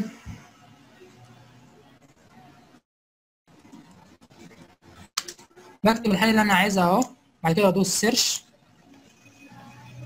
يقول لك اللي أنت بتبحث عنه ده مش موجود. مثلا آه، ندور عليه. اهي. ظهرت لي. فانا بكتب الحاجة اللي أنا عايزها. تمام؟ ده بالنسبة للجزء الأولاني. بعد كده new. أعمل blank document من هنا صفحة فارغة. تمام؟ وممكن من new أفتح صفحة Word جديدة من هنا أهو. اهي. تمام؟ new بيجيب لي اللي هي ال- الحاجات اللي استعملتها هنا. فوق ده بيكون ظاهر. هو جاب لي كلمة show more اللي هو العشر العشرة template الموجودة عندي. بيكون ظاهر آخر template أنا استعملتها. تمام؟ بعد كده في open. open اللي هو لو عندي ملفات على الجهاز أو ملفات Word وعايز أفتحها بدوس open. اهي open بعد كده browse بدور على الملف اللي أنا عايز افتحه بدوس عليه بعد كده بدوس open أدي الملف اتفتح عندي. تمام؟ عايز مثلا أستعيره من الجهاز برضو this PC. بدور على الحاجة اللي أنا عايز أستعيره منها. عايز أحطه على حاجة اسمها OneDrive بدوس add a place لازم يكون عندي إيميل على الـ OneDrive وأحطه عليه. بعد كده ظهر ظهرت هنا حاجة علامه السبعه كده recent recent معناها إن أنا ملفات فتحتها ببرنامج Microsoft Word. آخر الملفات اللي أنا فتحتها. هذه كلها آخر ملفات أنا فتحتها. طيب لو فتحت مجلدات مجلد هذه آخر مجلدات فتحتها ببرنامج Microsoft Word. بعد كده في info اللي هي information معلومات معلومات على صفحتها. يعني مثلا الـ size الحجم الـ paper ال- الـ pages اللي هو الصفحات الـ words اللي هو الكلمات اللي انت كاتبها. هنا بيقول لك total editing time الوقت اللي انت اخدت اللي هو العنوان الـ tag أو هاشتاج زي ما بيقولوا حاطط comment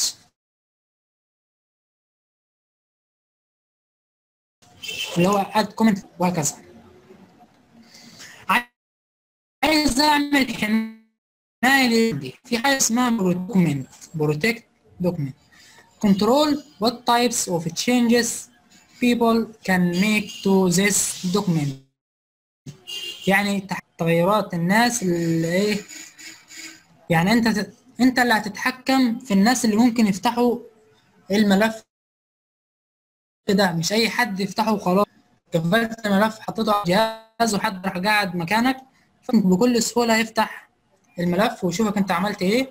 بس أنا ممكن أعمل له حماية فبدوس على protect document ظهرت عندي اختيارات كتيرة اللي يخصني فيها حاجة اسمها encrypt with password يعني إنشاء password بكتب هنا ال password اللي أنا عايزه مثلا أهو. بدوس OK. بعد كده بيقول لك re-enter password يعني أو اللي هو يساوي confirm اللي هو تأكيد ال password. بعد كده دوست OK. أنا كتبت كده password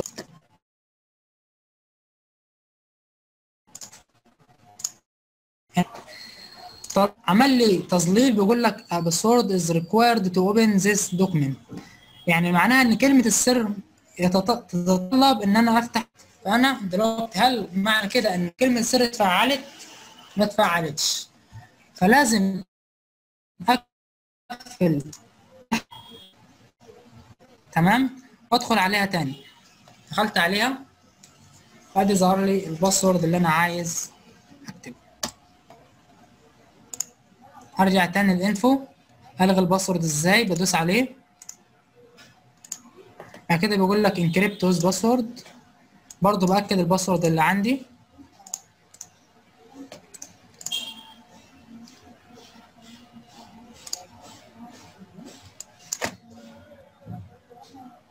you.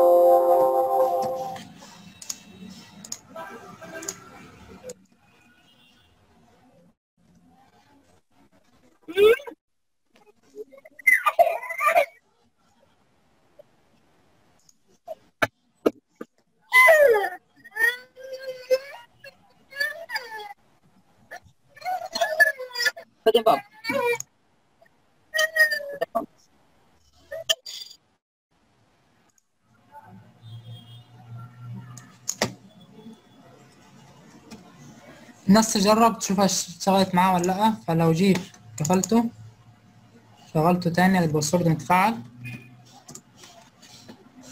بس في مشكلة عندي أنا برضو لما المفروض لما أجي أكد ال password المفروض يتلغي معايا.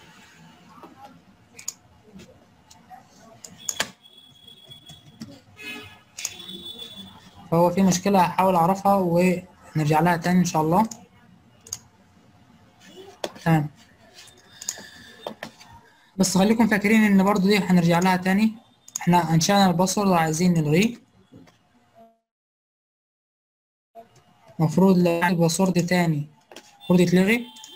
آه مش عايز يتلغي.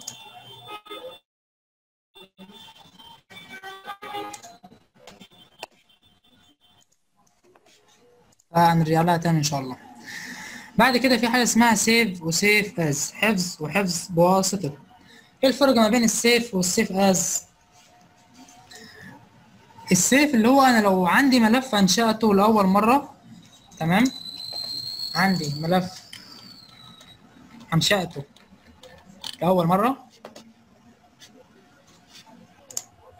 وعايز أحفظه بعمل له سيف بعد كده أنا مثلا الملف اللي عندي أنا حابب إن أنا أعدل عليه أو مثلا في بعض التعديلات بس عايز أحفظ الملف الملف الأساسي بتاعي يكون محفوظ تمام؟ بس عايز أعمل برضو ملف أعمل منه أعمل منه نسخة تانية بس النسخة التانية تكون محفوظة يعني بالتغيرات بتاعتها وباسم تاني غير الأولاني. هو دوس اللي هو إيه براوس بكتب الاسم اللي أنا عايز أكتبه. تمام؟ والمكان اللي عايز أحفظه فيه. أنا عندي مثلا أدي مايكروسوفت Word document أنا غيرت مثلا فيه وعايز أعدل. ده أخليه مثلا Word فقط. فدوست مثلا save. لو رحت على سطح المكتب هنشأ لي نسخة تانية بالتعديلات اللي أنا عدلتها. تمام؟ ده الفرق ما بين save و save as وهنعرف برضو عن- طريق save في حاجة اسمها file name اللي هو اسم الملف. بعد كده ال save as type نوع الملف. أنا عندي مثلا PDF عندي مثلا ال ال Word XML عندي مثلا ال- ال Word template ك template موجودة على سطح المكتب مثلا أو أشوف أنا عايز احفظها فين. أو ك Word مثلا من 97 ل 2003 وشوف الصيغة اللي أنا عايز احفظها بيها بعد كده في حاجة اسمها print طباعة. دي علامة الطبعة اللي عندي. تمام؟ آه بعد كده في حاجة اسمها copies اللي هو النسخ. عايز مثلا أنا أنا كتبت نص.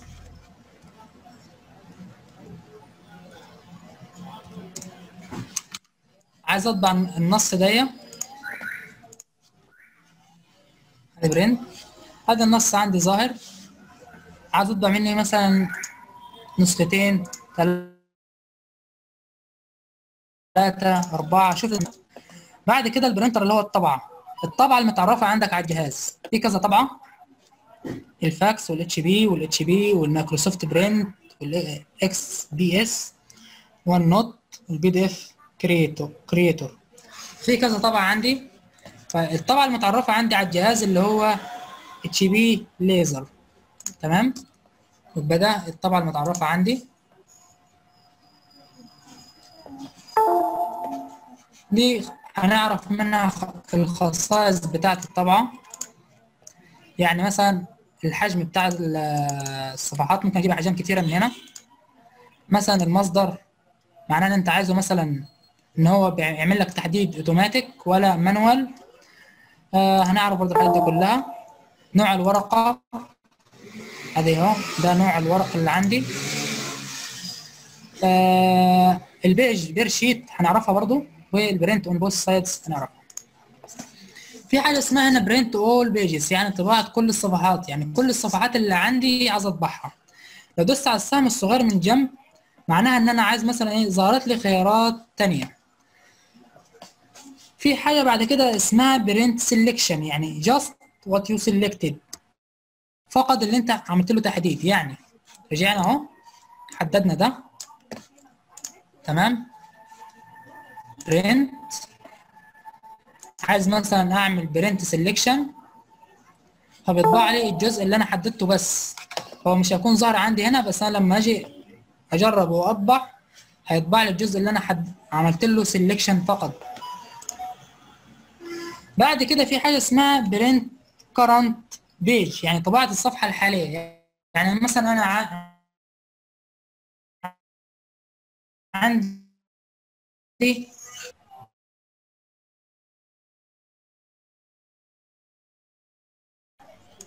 في الطباعة. print all pages print selection print current page custom print. إيه الفرق ما بين الأربعة؟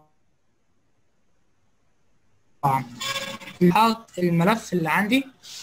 آه، أما ال selection لو أنا حددت جزء معين وعايز أطبعه يعني مثلا أنا عندي فقرة كبيرة زي كده مثلا عايز أطبع فيه اللي هو الفقرة الثالثة. الفقرة دي. فبعمل له تحديد الأول من الملف نفسه. لو رجعت بعمل تحديد ليه. بروح على ال file print بعد كده أعمل print selection هي مش هتكون ظاهرة هنا عندك في في الشو في العرض بس لما أجي أطبعها هنلاحظ إن هو طبع لي الجزء اللي حددته فقط. بعد كده print current page أنا عندي مثلا 10 صفحات. أنا واقف عند الصفحة الرقم 7 أو الصفحة رقم 8 وعايز أطبعها. فأنا وقفت عند الصفحة رقم 8 وأجي هنا أدوس print current page طباعة الصفحة الحالية. وبرضه هنلاحظ ده لما يجي نطبع كطباعة. بعد كده في حاجة اسمها ال custom print هو ال custom print مثلا أنا عندي 10 صفحات Word عايز أطبع مثلا من الصفحة رقم 3 للصفحة رقم 7 ف هنا مثلا من 3 شرطة 7 يبقى أنا معناه إن أنا عايز أطبع من الصفحة رقم 3 للصفحة رقم 7 تمام؟ مثلا أنا إحنا بنلاحظ إن آه، في الطباعه في ساعات حاجات بتكون مطبوعة وش بس وفي حاجات بتكون مطبوعة وش وظهر. فمن هنا print one sided اللي هو إيه طباعة وش فقط. تمام؟ لو غيرت مثلا عايز أطبع وش وظهر تبقى print on both sides يعني طباعة وش وظهر. تمام؟ آه لو عايز مثلا يطبع لي manual print on both sides يعني يطبع يطبع لي تلقائي آه لا بعتذر بيطبع يدوي print on both sides هو الفكرة نفسها إن ال print on both sides print on both sides الثلاث اوامر اللي تحت بعض دول زي بعض تمام؟ فكل الفكرة إن أنا لو عايز أطبع وشي بس print one side لو عايز أطبع وش وظهر print on both sides تمام؟ آه بعد كده في حاجة اسمها collated إيه هو ال collated يعني مثلا أنا أنا وبطبع أنا جيت مثلا عندي تمام في الطباعة تمام؟ عندي مثلا 10 صفحات. عايز يطبع لي النسخة الأولانية 10 صفحات كاملة ورا بعض يعني واحد اتنين تلاتة أربعة خمسة ستة سبعة تمانية تسعة عشرة. تمام؟ بعد كده ي- يجي في النسخة التانية يطبعها لي برضه نفس الكلام ورا بعض من واحد لعشرة. يجي في النسخة التالتة برضه يطبع لي نفس الكلام. فهو هنا كاتب لي واحد اتنين تلاتة. ده معناها كده. طب لو خليتها واحد واحد واحد أو اتنين اتنين اتنين أو تلاتة تلاتة تلاتة معناها إيه؟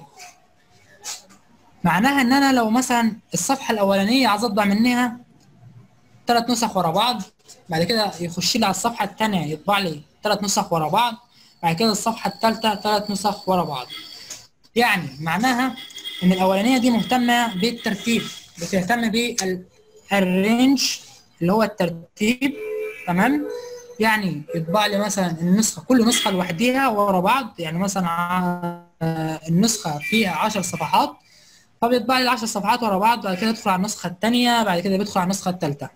فرضا إن أنا عايز مثلا لا أنا مش عايز الكلام ده. أنا عايز كل صفحة يطبعها يطبع لي منها مثلا خمس نسخ ست نسخ. فباجي على ال uncollated وبختارها يعني مثلا أنا حددت هنا خمس نسخ. حددت فوق خمس نسخ. هاجي في ال uncollated تمام؟ هيطبع لي أول صفحة منها خمس نسخ. يعني إيه خمس آه، صفحات؟ بعد كده الصفحة التانية خمس نسخ. الصفحة التالتة خمس نسخ وهكذا. يعني مش بيطبعها لي آه، بالترتيب ورا بعض. بعد كده في حاجة اسمها ال port طريقة العرض. عرض الصفحة اللي عندي. بورتريت اللي هو أفقي بعد كده في landscape اللي هو رأسي. ماشي بعتذر. بورتريت اللي هو رأسي landscape اللي هو أفقي يعني بورتريت أهو. شايفين الصفحة؟ عندي ب افقي آه رأسي قصدي. بورتريت اللي هو رأسي. جينا عند ال landscape orientation اللي هو عملها لك. أفقي. اهو بالعرض. الصفحة عملها لك بالعرض. البورتريت عملها لك بالطول. بعد عايزها كان في كام مثلا؟ عايزها A 4 ولا عايزها A 5 ولا عايزها A 3 طبعا الناس اللي في هندسه تعرف إن الفرق ما بين ال A 5 وال A 4 وال A 3 أكبرهم ال A 5 حتى لو ملاحظ تحت كل حاجة في مثلا ال A 5 بيقول لك 5.83 في 8.27 ال A 4 أقل منها 8.27 في 11.96 يعني مثلا دوسنا عليها أهي. ده اللي هو ال A 5 ودي ال A 4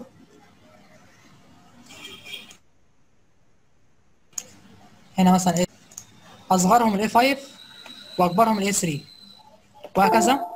مثلا عايز أعملها أعمل كارت شخصي. فإيه مثلا كارت الشخصي بيكون خمسة في تمانية أهو. بس برضه هنتعلم, نعمله إزاي. أهو. ده شكل الكارت الشخصي. اقعد اغير في الابعاد زي ما أنا عايز أهو.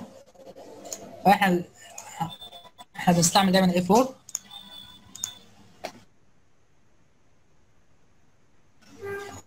في حاجة اسمها ال normal margins اللي هو الحدود الطبيعية حدود الملف اللي عندي. ادي في حدود جاهزة ممكن أستعملها. وبرضه هندرسها بالتفصيل داخل البرنامج نفسه. ممكن لو عايز أعمل حدود من عندي هندوس custom margins أهي. التوب والليفت والبوتم والرايت التوب اللي هو انت عايزه من فوق مثلا أربعة وعايزه من تحت أربعة وعايزه مثلا من ناحية من الأسفل يمين اتنين إيه هو ال gutter؟ ال gutter اللي هو الناس بنلاحظ طلاب تالتة ثانوي لما بيكون معمول لهم مذكرات بيسيب مسافة في الجنب مثلا للمذكرة دي. يعني مثلا عايز أسيب رجلك تكسر لك رجلك. تكسر لك رجلك. المايك يا شباب. المايك بنلاحظ إن في في مسافة في الجنب بتكون متسابة لجزء التكعيب بتاع بتاع المذكرة دي. فده اسمه ال gutter اللي هو إيه؟ gutter. بقول لك gutter position المكان بتاع جزء التكعيب اللي أنا سايبه ده عايزه فين؟ ناحية الشمال ولا ولا من فوق؟ أهو. خلي مثلا اتنين. شايفين؟ ولا عايزه ناحية ال right شوف أنا عايز أعمله إزاي. برضو ال orientation portrait اللي هو راسي landscape أفقي. زي ما قلنا ال page الصفحات normal ولا مراية ولا اتنين صفحة per sheet يعني معناها إن أنا مثلا عايزه بالعرض الطبيعي بتاعه ولا عايز مراية ليه يعني بيكون صفح صفحة وجنبه صفحة تاني ولا عايز في كل sheet صفحتين وهكذا. ال preview ده التعديلات اللي أنا غيرتها فوق فأنا عايز عايز ال document فقط ولا this point forward يعني ولا على document معينه أنا هحددها. فمثلا أخليها ال whole document ده اللي هو ال paper اللي هو ال paper size اللي هو حجم الصفحة A4 آه زي ما زي ما عرفنا من هنا ممكن نعرف ال page size أهو غير زي ما أنا عايز. هنا ال width اللي هو العرض والارتفاع بغير برضو كبر وصغر زي ما أنا عايز. آه ال paper source اللي هو المصدر بتاع الورق. تمام عايزه اللي هو default اللي هو تلقائي ولا اوتوماتيك ولا مثلا يدوي. بعد كده ال layout هنعرف برضو بالتفصيل ال layout يعني ال section start عايز اللي هو المقطع اللي عندك يبدأ من فين؟ من آه، من عمود جديد ولا من من صفحة زوجية ولا صفحة فردية ولا صفحة جديدة. آه هنعرف برضو ال header وال footer اللي عندنا لو عايزين نطبقه على الصفحات الزوجية إزاي والصفحات الفردية إزاي. بعد كده زي ما قلنا هنا عايز أطبقه على ال whole document أو ال this point forward بعد كده من هنا جاي لك one page per sheet يعني صفحة واحدة في عايز أخليه مثلا صفحتين في ال sheet. شايفين طريقة العرض؟ أربع صفحات في ال sheet. عايز أخليه ستة. عايز أخليه 16 بس لازم يكون عندي العدد ده. يعني مثلا ما يكون عندي صفحة واحدة أقول أنا عايز اخلي اثنين page إزاي؟ وأنا ما ما عنديش غير صفحة واحدة. بس فعن عن طريقه إن أنا ممكن مثلا أخلي يطبع لي صفحتين في sheet واحد بس أربعة في sheet واحد وهكذا ستة أو ثمانية تمام؟ آه برضو هنا ال scale to paper size اللي هو الحجم برضو بتاعه حجم كل صفحة فيهم. أنا أخليها 1 paper تمام؟ هنا تحت خالص بيقول لي أنت واقف الصفحة رقم واحد. تمام؟ فعلا أنا ما عندي غير صفحة واحدة بس أصلا. بس بعد كده إحنا خلصنا من أوامر الطباعة. فلحد هنا خدنا الهوم النيو الأوبن الإنفو السيف والسيف از والبرنت حد عنده استفسار لحد دلوقتي؟ في حاجة مش مفهومة لحد دلوقتي؟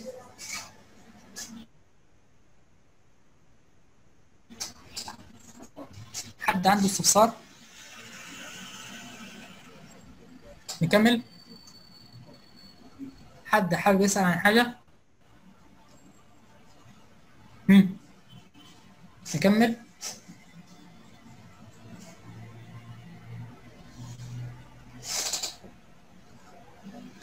تمام. طيب قبل ما نكمل الناس معلش تقول لي الفرق ما بين السيف والسيف از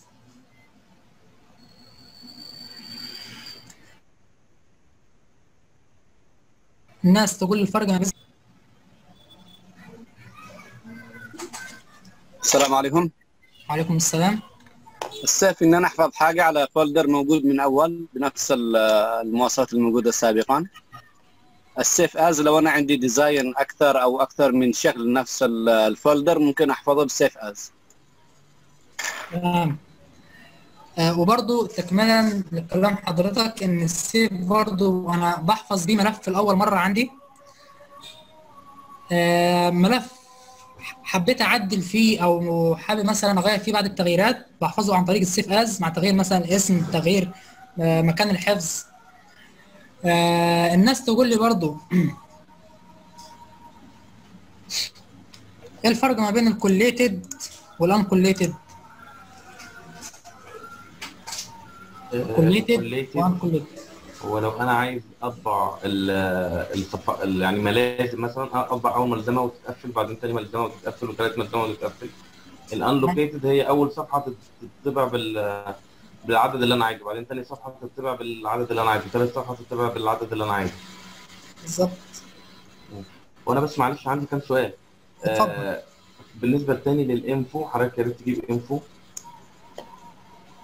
في ال password في ال protect أنا اللي شفته يعني إن أنت المفروض عشان تشيل ال password لو دوست عليها تاني بتظهر لك ال password اللي أنت حاططها في الاب بالظبط. أيوه. المفروض إن أنا أشيلها أعمل لها delete أمسحها. وبعدين أدوس okay كده اتمسحت خلاص. تمام.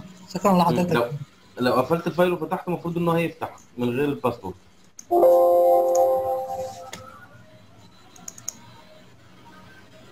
yes آه. هو ده إيه؟ ده إحنا حفظنا على الملف التاني. تمام.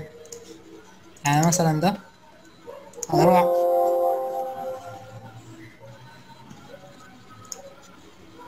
تمام إحنا قلنا بنروح على file بعد كده آه بنقول ال info بعد كده protect protect encrypt with password بشيل ال password اعمل delete آه. مم. okay. كده خلاص اتشال. بالظبط. فكده أنت قفلت أكتب save آه. أدي فتحت الملف ده. ال password مش متواجد تمام. أيوه فتحت ده. مش موجود شكرا جدا لحضرتك. جزاك الله خير.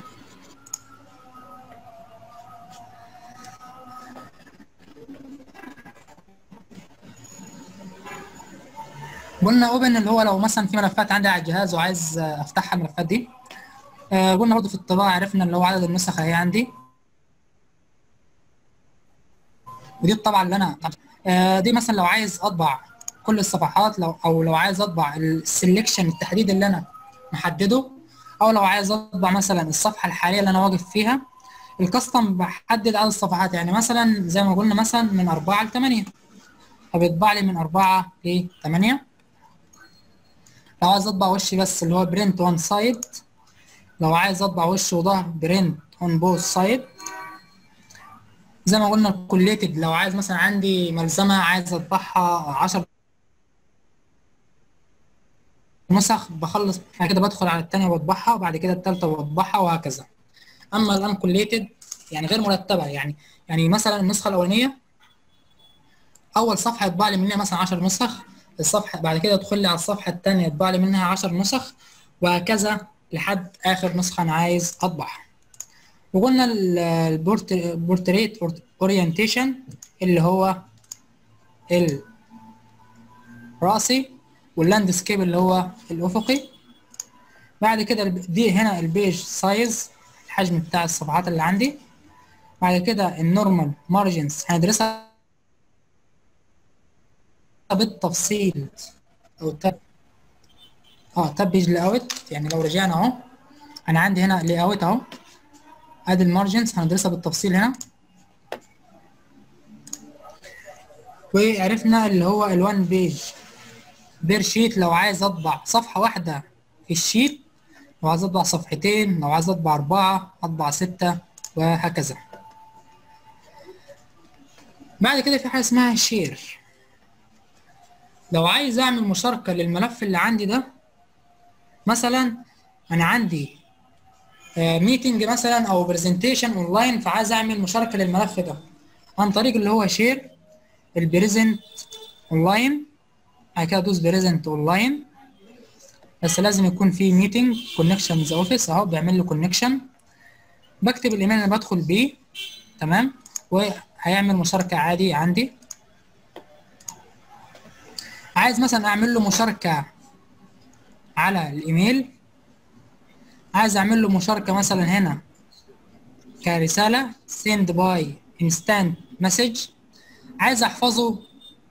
أعمل مشاركة مع الناس. أحفظه في cloud تمام. بعد كده export تمام. فرضا إن أنا الملف اللي عندي ده لما باجي أعمل له save as تمام. بعد كده browse بيظهر لي اللي هو ال save as type نوع الملف اللي أنا عايز أحفظ بيه. فرضا ان أنا مش لاقي ال PDF في وسيلة تاني اللي هي export تصدير. change file type تمام؟ هتلاقي عندي أشكال تانية أو صيغ تانية للملف. أدي save as وأدي بختار ال type اللي أنا عايزه. يا اما بيكون مدهاني جاهزة عندي أهي.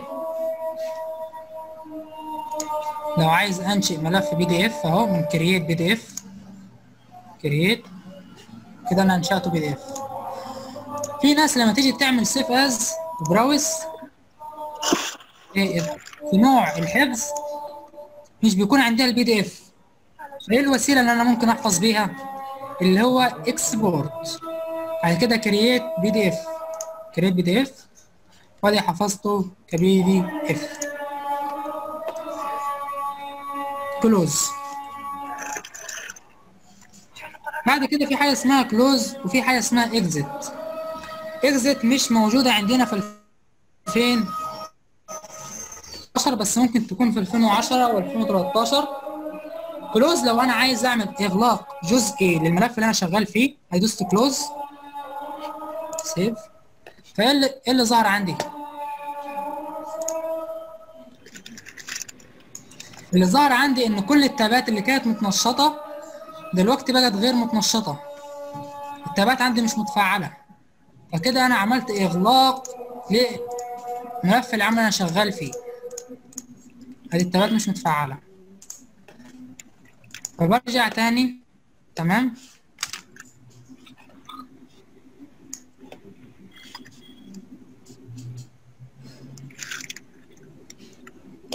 في حد رفع ايده اللي هو آه، نور الدين؟ حد حابب يسأل عن حاجة؟ آه، اللي هو يعني يعني آه، اللي هو الوورد يعني هل أقدر مثلا أسيب ال- ال- ال Word كصورة مثلا أو PNG هو متاحة في 2000 هتلاقيها متاحة معاك في 2010 بس بس هي اتشالت من 2013 و16 و19 فهو آه لحد الآن بن آه اللي بيستعملوا 2016 و19 بيواجهوا مشكلة إن هم مش بيقدروا يعملوا save للملف اللي عندك كصورة. بس 2010 في حضرتك قلت في أول محاضرة يعني إنك ممكن تعملها شهادة إنك تعمل من ال Word شهادة أو تصمم عليها. فال Word أنا محتاج إن أنا أعملها صورة. يعني لو الموضوع ده ممكن هو أنت الشهادة هتحفظها بس ك PDF تمام؟ فأنت لو عايز تطبع الشهادة بتاخد تاخد ال PDF ملف ال PDF نفسه. وتروح لحد تقول له تقول له والله أنا عايز مثلا أطبع الشهادة دي فهو بيطبعها لك. فهو بياخد منك ال PDF ويطبعها لك. أما كصورة يعني هو برضو الاختلاف ما بين ال Photoshop وال- وال Word أنا بإمكان ال Photoshop أحفظه كصورة. أما ال PDF أما قصدي ال Word مفيش إمكانية إن أنا أحفظ الملف اللي عندي كصورة. بس في البرامج القديمة بالاصدارات القديمة ممكن أحفظه كصورة. يعني 2010 2007 في إمكانية إن أنا ممكن أحفظ الملف كصورة. طيب أنا هتغلب على المشكلة دي إزاي؟ خلاص أنا عملت شهادة وصممتها. أحفظها ك PDF آه وممكن عن طريق إن أنا يعني آخد ملف ال PDF اللي عندي أروح أطبعه. مش شرط إن هو يكون صورة. تمام؟ آه حد عنده استفسار تاني حد عنده استفسار تاني؟ فالناس برضو اللي عندها نسخ قديمة تحاول تجرب. ده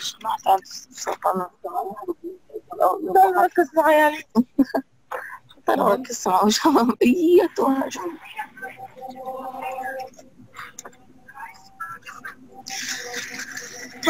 ملبس عشان أنزل. المايك يا شباب المايك الناس اللي فاتحة المايكات. وأنا حضرتك عندي 2010 بصيت عليه برضه ما بيتسيفش ال JPG. بس هو أنا عايز أقول للاخ اللي كان بيسأل إن ميزة ال Word إن إحنا ساعات لما كنا بنيجي نعمل تقارير مثلا عن الموقع فساعات ببقى عايز أحط في التقرير ثلاث أربع صور في نفس الصفحة. فباخد ال JPG أحطها على ال Word file وأظبطهم إن هم يجوا صورتين ثلاثة أربعة في نفس الصفحة. وبعدين زي ما حضرتك بتقول بقى ممكن أطبع ك Word أو ك PDF يعني عشان تبقى في التقرير آه هتلاقوا بعد ال 2010 في منها نسخة قديمة وفي منها نسخة محدثة. فالنسخة المحدثة ما بيكونش فيها حفظ ك PN ال PNG أو JPG. آه بس النسخة القديمة أنا كنت محملها عندي وجربتها قبل كده كانت بتحفظ كصورة عادي. الناس اللي عندها 2007 2003 تجرب هتلاقي إن هو بيحفظ معاها كصورة عادي. بس بعد كده شالوا الميزة دي 2016 2019 آه الحاجة اللي أنا بحفظها بحب أحفظها كصورة. يعني الحاجة القريبة منها إن أنا أحفظها ك PDF وبعد كده أروح أطبعها. تمام؟ آه ده بالنسبة لي مشكلة ال JPG وال PNG. بعد كده قلنا اللي هو ال close عايز اعمل إغلاق جزئي أو أو مهندس لو سمحت ممكن بس بعد إذنك ال export على السريع تاني معلش. تمام. آه، إحنا قلنا ال export اللي هو تصدير. تمام. آه، قلنا مثلا لما جيت أحفظ الملف عن طريق ال save as تمام. باجي بدور في ال save type أنا بدور على ال PDF مش لاقي PDF. فأنا عندي مشكلة وأنا عندي تسليم بكرة وعايز احفظه ك PDF. و... طب والحل؟ أبعت الملف لواحد تاني يعمل لي آه، ملف PDF وابعته لي لأ. هنلاقي عندنا في ميزة اسمها export في حاجة اسمها كرييت بي دي إف. كرييت بي دي إف. تمام؟ فبدوس هنا على create PDF. تمام؟ فهو جاب لك الصيغة. ممكن برضو لو أنا مثلا مش فاكر إن save as بيعمل آه، لما باجي أحفظ. بيجيب لي نوع الملف. أنا نسيت مثلا خالص فرحت دوست export ممكن من هنا برضو change file type تغيير نوع الملف. تمام؟ ادي عندي أنواع تاني مختلفة. عايز أحفظه ك template ك Word 2003 أو 97 ك text كنص ك plain text. شوف أنا عايز أحفظه إزاي. فبدوس save as. وفتح عندي نوع الحفظ اللي أنا عايزه وهنا اسم الملف. آه برضو في مشكلة الناس بتوقع فيها. ال DO CX اللي هو صيغة الملف نفسه. الصيغة دي لو اتمسحت يعني بنسبة 90% الملف مش بيشتغل معاك. يعني يعني مثلا جرب كده. حتى هو تحت جايب لك في الاختيارات لازم تحط ال DOC FX فدوست كده save تمام؟ وبرضه لما ت... لما اتحفظ اتحفظ بنفس الصيغة اللي هي DOCX document هنا اتحفظ بنفس الصيغة. يعني حتى انت لو نسيت ومسحتها هي هتكون موجودة معاك متواجدة دايما مش هتتمسح لأن دي الصيغة الأساسية بتاعت برامج ال Word. فلا غنى عنها. تمام؟ أهو بغير الاسم من هنا. وزي ما قلنا من هنا نوع ك PDF أو أشوف الملف اللي أنا النوع اللي أنا عايزه. يبقى الفكرة نفسها إن ال export بديل لل save as لو أنا مثلا عايز أحفظه ك PDF ومش لاقيه في ال save as عن طريق ال export فهمت؟ هم. بعد كده دخلنا عرفنا الفرق ما بين ال close وال close وال exit close اللي هي إغلاق جزئي لملف العمل اللي أنا عندي مع الغاء مع الغاء تنشيط ال tabs اللي عندي.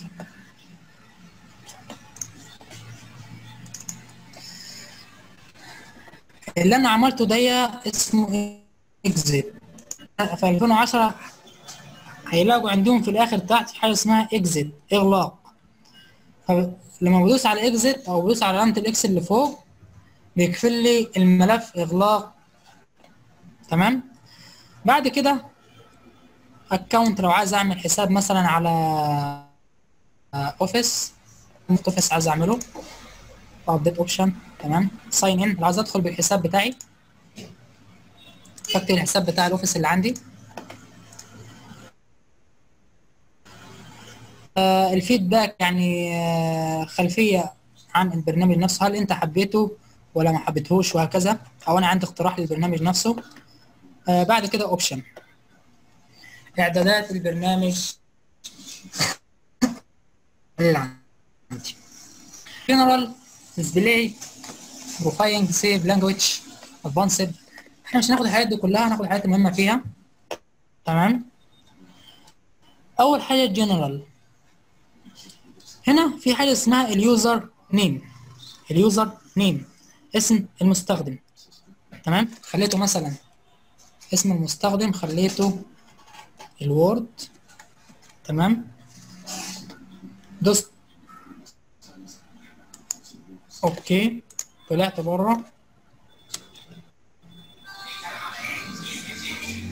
تمام؟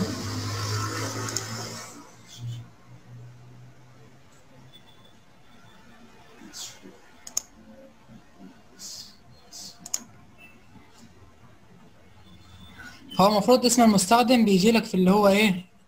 لو ملاحظين هنا في حاجة اسمها طيب ال author اللي هو المؤلف وال size وال date modified الاسم اللي أنت غيرته بيجي لك في ال author. اللي هو المؤلف. دخلت أنا على الملف نفسه. تمام؟ file option غيرت ده مثلا. بس هو إيه الفكرة نفسها إن أنا بغيره إمتى لازم أغيره لما أجي أعمل ملف جديد. ملف ما كنتش اشتغلت عليه قبل كده. يعني مثلا ده أهو. مش بعد ما أشتغله كل حاجة أروح أغيره لا. أنا بعد أول ما ادي البرنامج بعد ما انشأته. حلو. من غير ما بعمل عليه أي تعديلات بدخل على فايل على option خلي ده مثلا.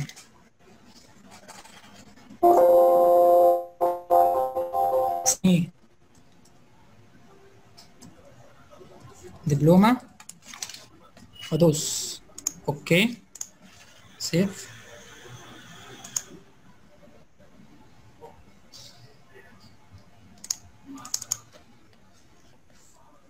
طب معلش ناس تجربها عندها؟ في مشكلة عندي؟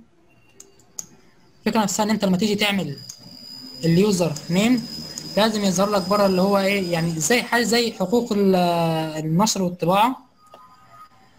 آه هنرجع لها تاني. بعد كده ال Office theme يعني اللي هو إيه شكل ال Office اللي عندي. عايزه white أبيض ولا عايزه dark ولا عايزه إيه بالظبط؟ عايزه مثلا dark بدوس okay بعد غيرت شكل ال Office اللي عندي. برجع تاني.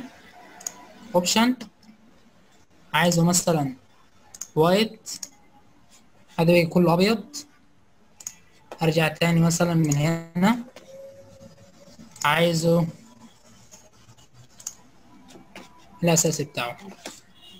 فمن هنا بغير إيه الشكل بتاع ال Office. بعد كده حد مش مهم عندي. ولا ال proofing.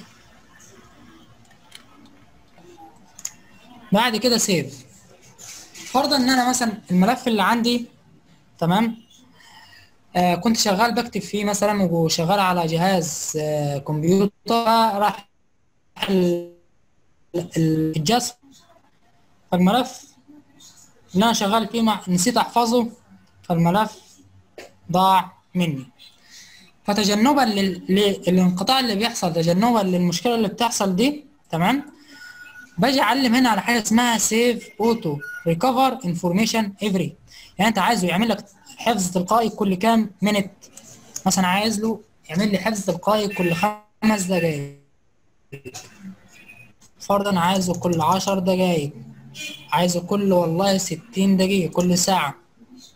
وهكذا. هنا بتحدد له المدة اللي أنت عايزه يحفظ لك فيها حفظ تلقائي للملف اللي عندي. تمام؟ بعد كده اللانجوج اللغة عن طريق اللغة أنا ممكن أغير لغة البرنامج اللي عندي تمام؟ اللي هي أنتوا شايفين دلوقتي التابات كلها باللغة الإنجليزية. عايز أخليها بالعربي. تمام؟ بس لازم إن أنا أكون عندي على جهاز معرف اللغة العربية. لازم أكون معرف اللغة العربية. يعني مثلا اللانجوج ادي مثلا أنا هنا مش معرف اللغة العربية فعشان كده مش ظاهرة عندي. فأنا لو معرف اللغة نفسها فبدوس بعلم على اللغة وأدوس حاجة اسمها set as referred فبدوس يس تمام؟ دوس أوكي حلو. فالتبات مش هتتغير كده تلقائي لوحدها لازم أقفل البرنامج بعد كده أدخل عليه تاني.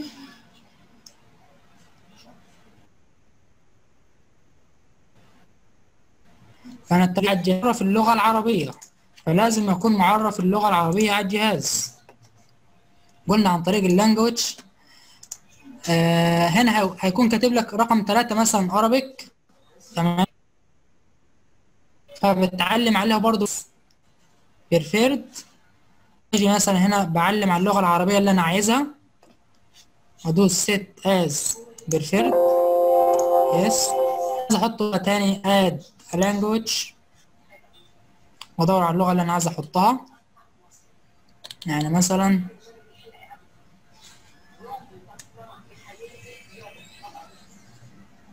لو ملاحظين هنا ما عنديش أهو الأرابيك إيجيبت مش متظللة مش متفعله أساسا. معنى كده ان إن هي أصلا اللغة العربية في مصر مش متفعله عندي مش متفعله عندي. نقاد تمام؟ هنا مثلا ضفت حاجة زي كده عايز أعمل لها ريموف من هنا أهي بلغي اللغة. فلا بد إن هنا برضو نفس القصة. يكون متعرف. معنى كده إن هي اللغة العربية مش متعرفة عندي. لو متعرفة هتلاقيها ظهرت عندك فوق فبتحددها برضو فوق وتدوس عليها as preferred. آه وتحددها تحت تدوس عليها set as preferred. فكده هيتحول معاك التابات اللي عندك من اللغة الإنجليزية للغة العربية. بعد كده الادفانسد متقدم. اللي, إحنا هنحتاجها فيها تمام؟ أنا مثلا عندي في البرنامج نفسه كتبت أرقام. واحد اتنين تلاتة أربعة خمسة. أنا عايز أخلي الأرقام دي باللغة العربية. بعد بروح على file على advanced أنزل. من حاجة اسمها numeral هشيل ال Arabic أخليها هندي. خليها أصل الحروف ال- الأرقام اللي عندي أصلها هندي. فاخليها هندي دوس okay. بعد اتغيرت للغة العربية. أرجع تاني. option من advanced وأختار عربيك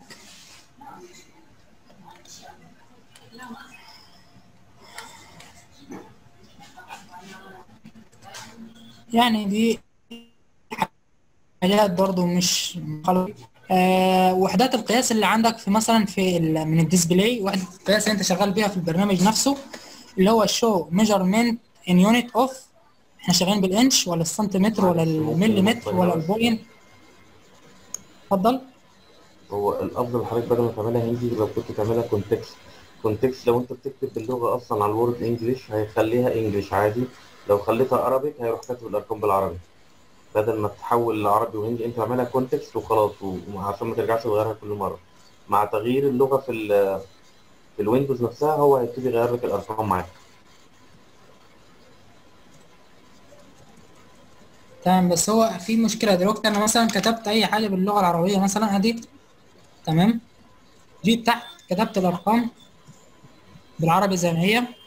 غيرت اللغة بعد كده خليتها مثلا عربيك نزلت عايز أكتب الكلمات تمام. تمام. شكرا لحضرتك جدا. يعني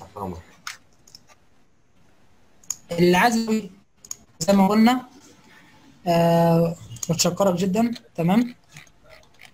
آه ممكن اختار الهندي اللي هو بالعربي بس العربي اللي هو اللي هو ال- وانت تصير بالإنجليزي الكونتكست اللي هو آه على حسب طريقة الكتابة اللي عندي. سواء باللغة العربية يبقى يكتب لي الحروف بالعربي سواء باللغة الإنجليزية يكتب لي الحروف بالإنجليزي. تمام؟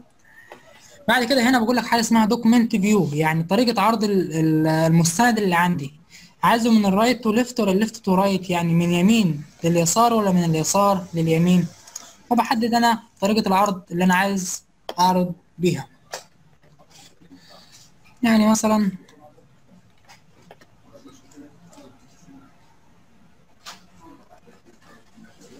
لحظة.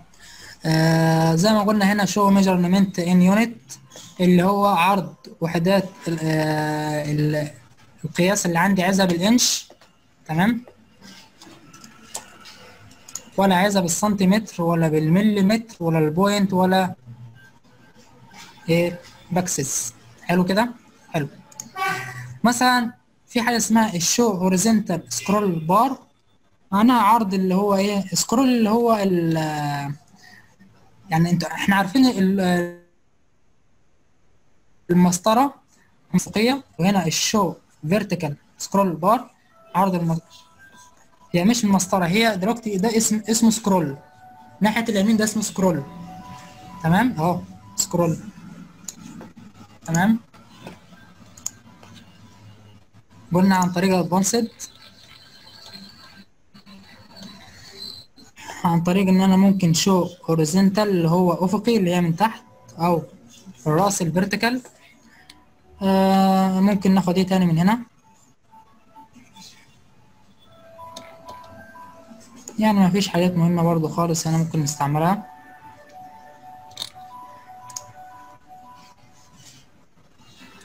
بعد كده الكاستم ريبون إحنا قلنا اللي هو شريط الأدوات. دي كل حاجة خاصة بشريط الأدوات أهو. ده شريط الأدوات اللي عندي أهو. جايبه لك أنا شريط الأدوات. يعني مثلا أنا بقول لك اللي عندي أهو ده اللي موجود عندي.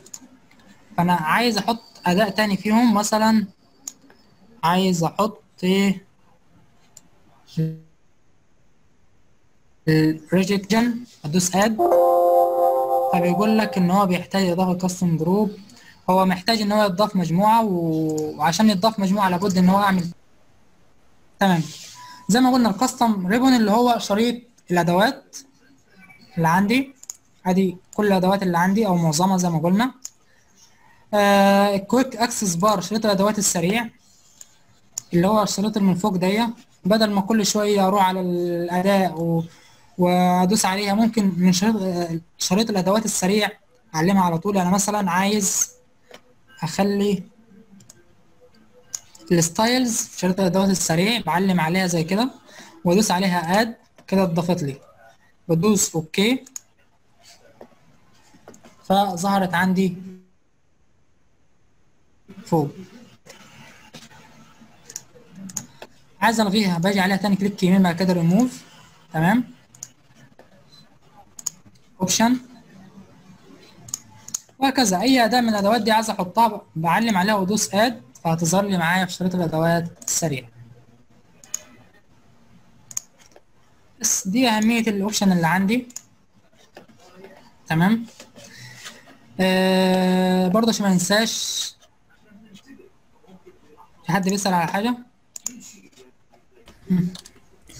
سمعت هو الشريط اللي حضرتك الشريط اللي حضرتك كنت جايبه من شوية ده اللي هو أقدر اعمل اد أو ريموف في حاجات حضرتك ما بتبقاش ظاهرة صح؟ اللي ما بتبقاش موجودة اللي أنا لازم أعمل لها اد اد يعني. آه، قصد حضرتك قصدك اللي هو شريط الادوات السريع. حلو كده؟ أيوه. تمام. طب هل في حاجات موجودة أساسية عندي؟ آه. لا اتفضل يعني هل مثلا سامعك. في حاجات بتبقى هنا مثلا هل بيبقى لها يعني بيبقى لها فايدة أكتر من بيبقى لها فايدة يعني ولا؟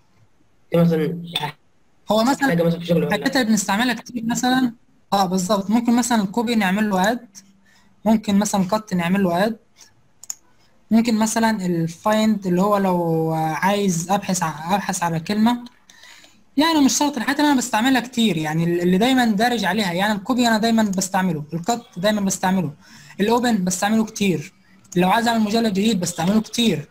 ال save بستعمله كتير. على حسب استعمالك أنت. تمام؟ آه فكل الحكاية في كده يعني حسب الحاجات اللي انت بتستعملها انت على طول. وبرضه مش شرط يعني طالما أنا عرفت الاختصارات ممكن استغنى عن شريط الأدوات. ما آه، ما هي فائدة استعمال أو استخدام ال account آه، في ال Word؟ إيه فائدة استعمال ال account أو الحساب اللي عندي؟ تمام؟ الفائدة بتاعته إن أنا لما أجي أعمل لي حساب على Microsoft Office أنا كل التعديلات اللي عندي أو كل الشغل أنا بشتغله أنا هحفظه على الإيميل بتاعي على email ال Office على صفحة Microsoft Office. يعني هو لو حضرتك يعني مسجلة لو عاملة account عاملة sign in ال account عندك فهيتم الحفظ تلقائي طالما أنت عاملة تسجيل دخول لل account اللي عندك. أنا عامل account هنا تمام. آه أنا طالما أدخلت حساب عندي sign in تمام؟ أنا أي حاجة بستعملها أو أي حاجة بشتغل عليها بتكون محفوظة على الإيميل بتاعي اللي هو email Microsoft Office. فهو بيتم الحفظ تلقائي طالما أنت داخل بإيميل تمام؟ فكل الملفات اللي عندك مش هتتحفظ على الجهاز عندك هتتحفظ على الإيميل اللي أنت عامله. فهيتم الحفظ التلقائي طالما أنت عامل تسجيل دخول لحساب مايكروسوفت. ولا يتم الحفظ على لابد إن أنت تكون عامل تسجيل دخول لحساب مايكروسوفت وعلى أساسه هيتم الحفظ التلقائي. لكن لو مش عامل تسجيل دخول فهو بيخيرني مثلا عايز أحفظه على الجهاز عايز بعد كده أدخل إيميل وهكذا. لكن طالما عامل تسجيل دخول فهو بيتم الحفظ. آه، نعم أستاذ. أستاذ يعني لا يعطي إمكانية الحفظ على ال- الكمبيوتر وكذلك على الإيميل. يعني آه، على مستوى المايكروسوفت. بالظبط كده.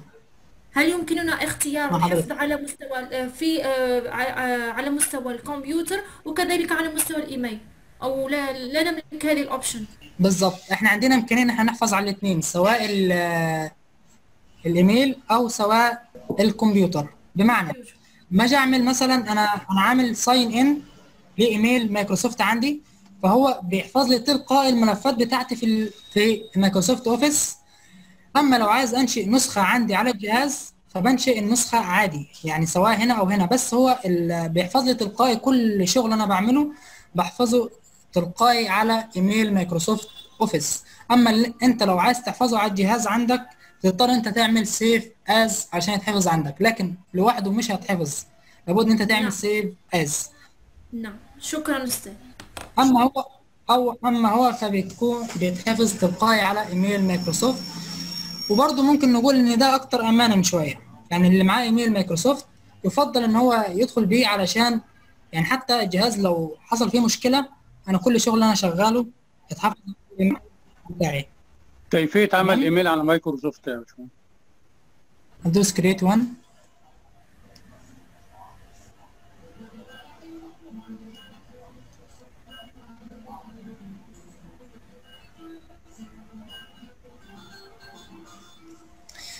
فبكتب هنا الإيميل اللي أنا عايزه. حتى هو كاتب لك مثال هنا. ممكن أدخل عادي بالجيميل بتاعي. تمام؟ آه فرضا أنا مش عايز أستعمل إيميل أستعمل رقم تليفون. فبدوس next بعد كده هيجي لي اللي هو ال password. بكتب بكتب ال password اللي أنا عايزه وهكذا. فهي مش صعبة. هي كل الفكرة نفسها إن أنا لما أجي أعمل دخول بعمل ساين ان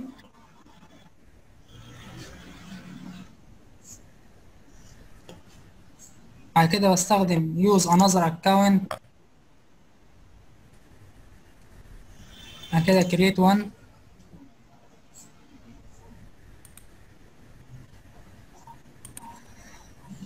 تمام؟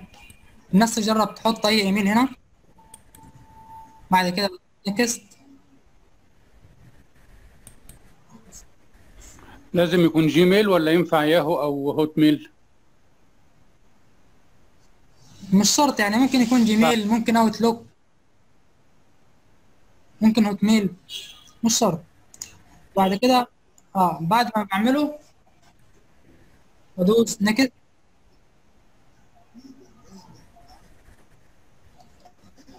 بعد كده هيقول لي آه باسورد تكتب الباسورد اللي أنت عايزه. فالناس برضو تعاون تجرب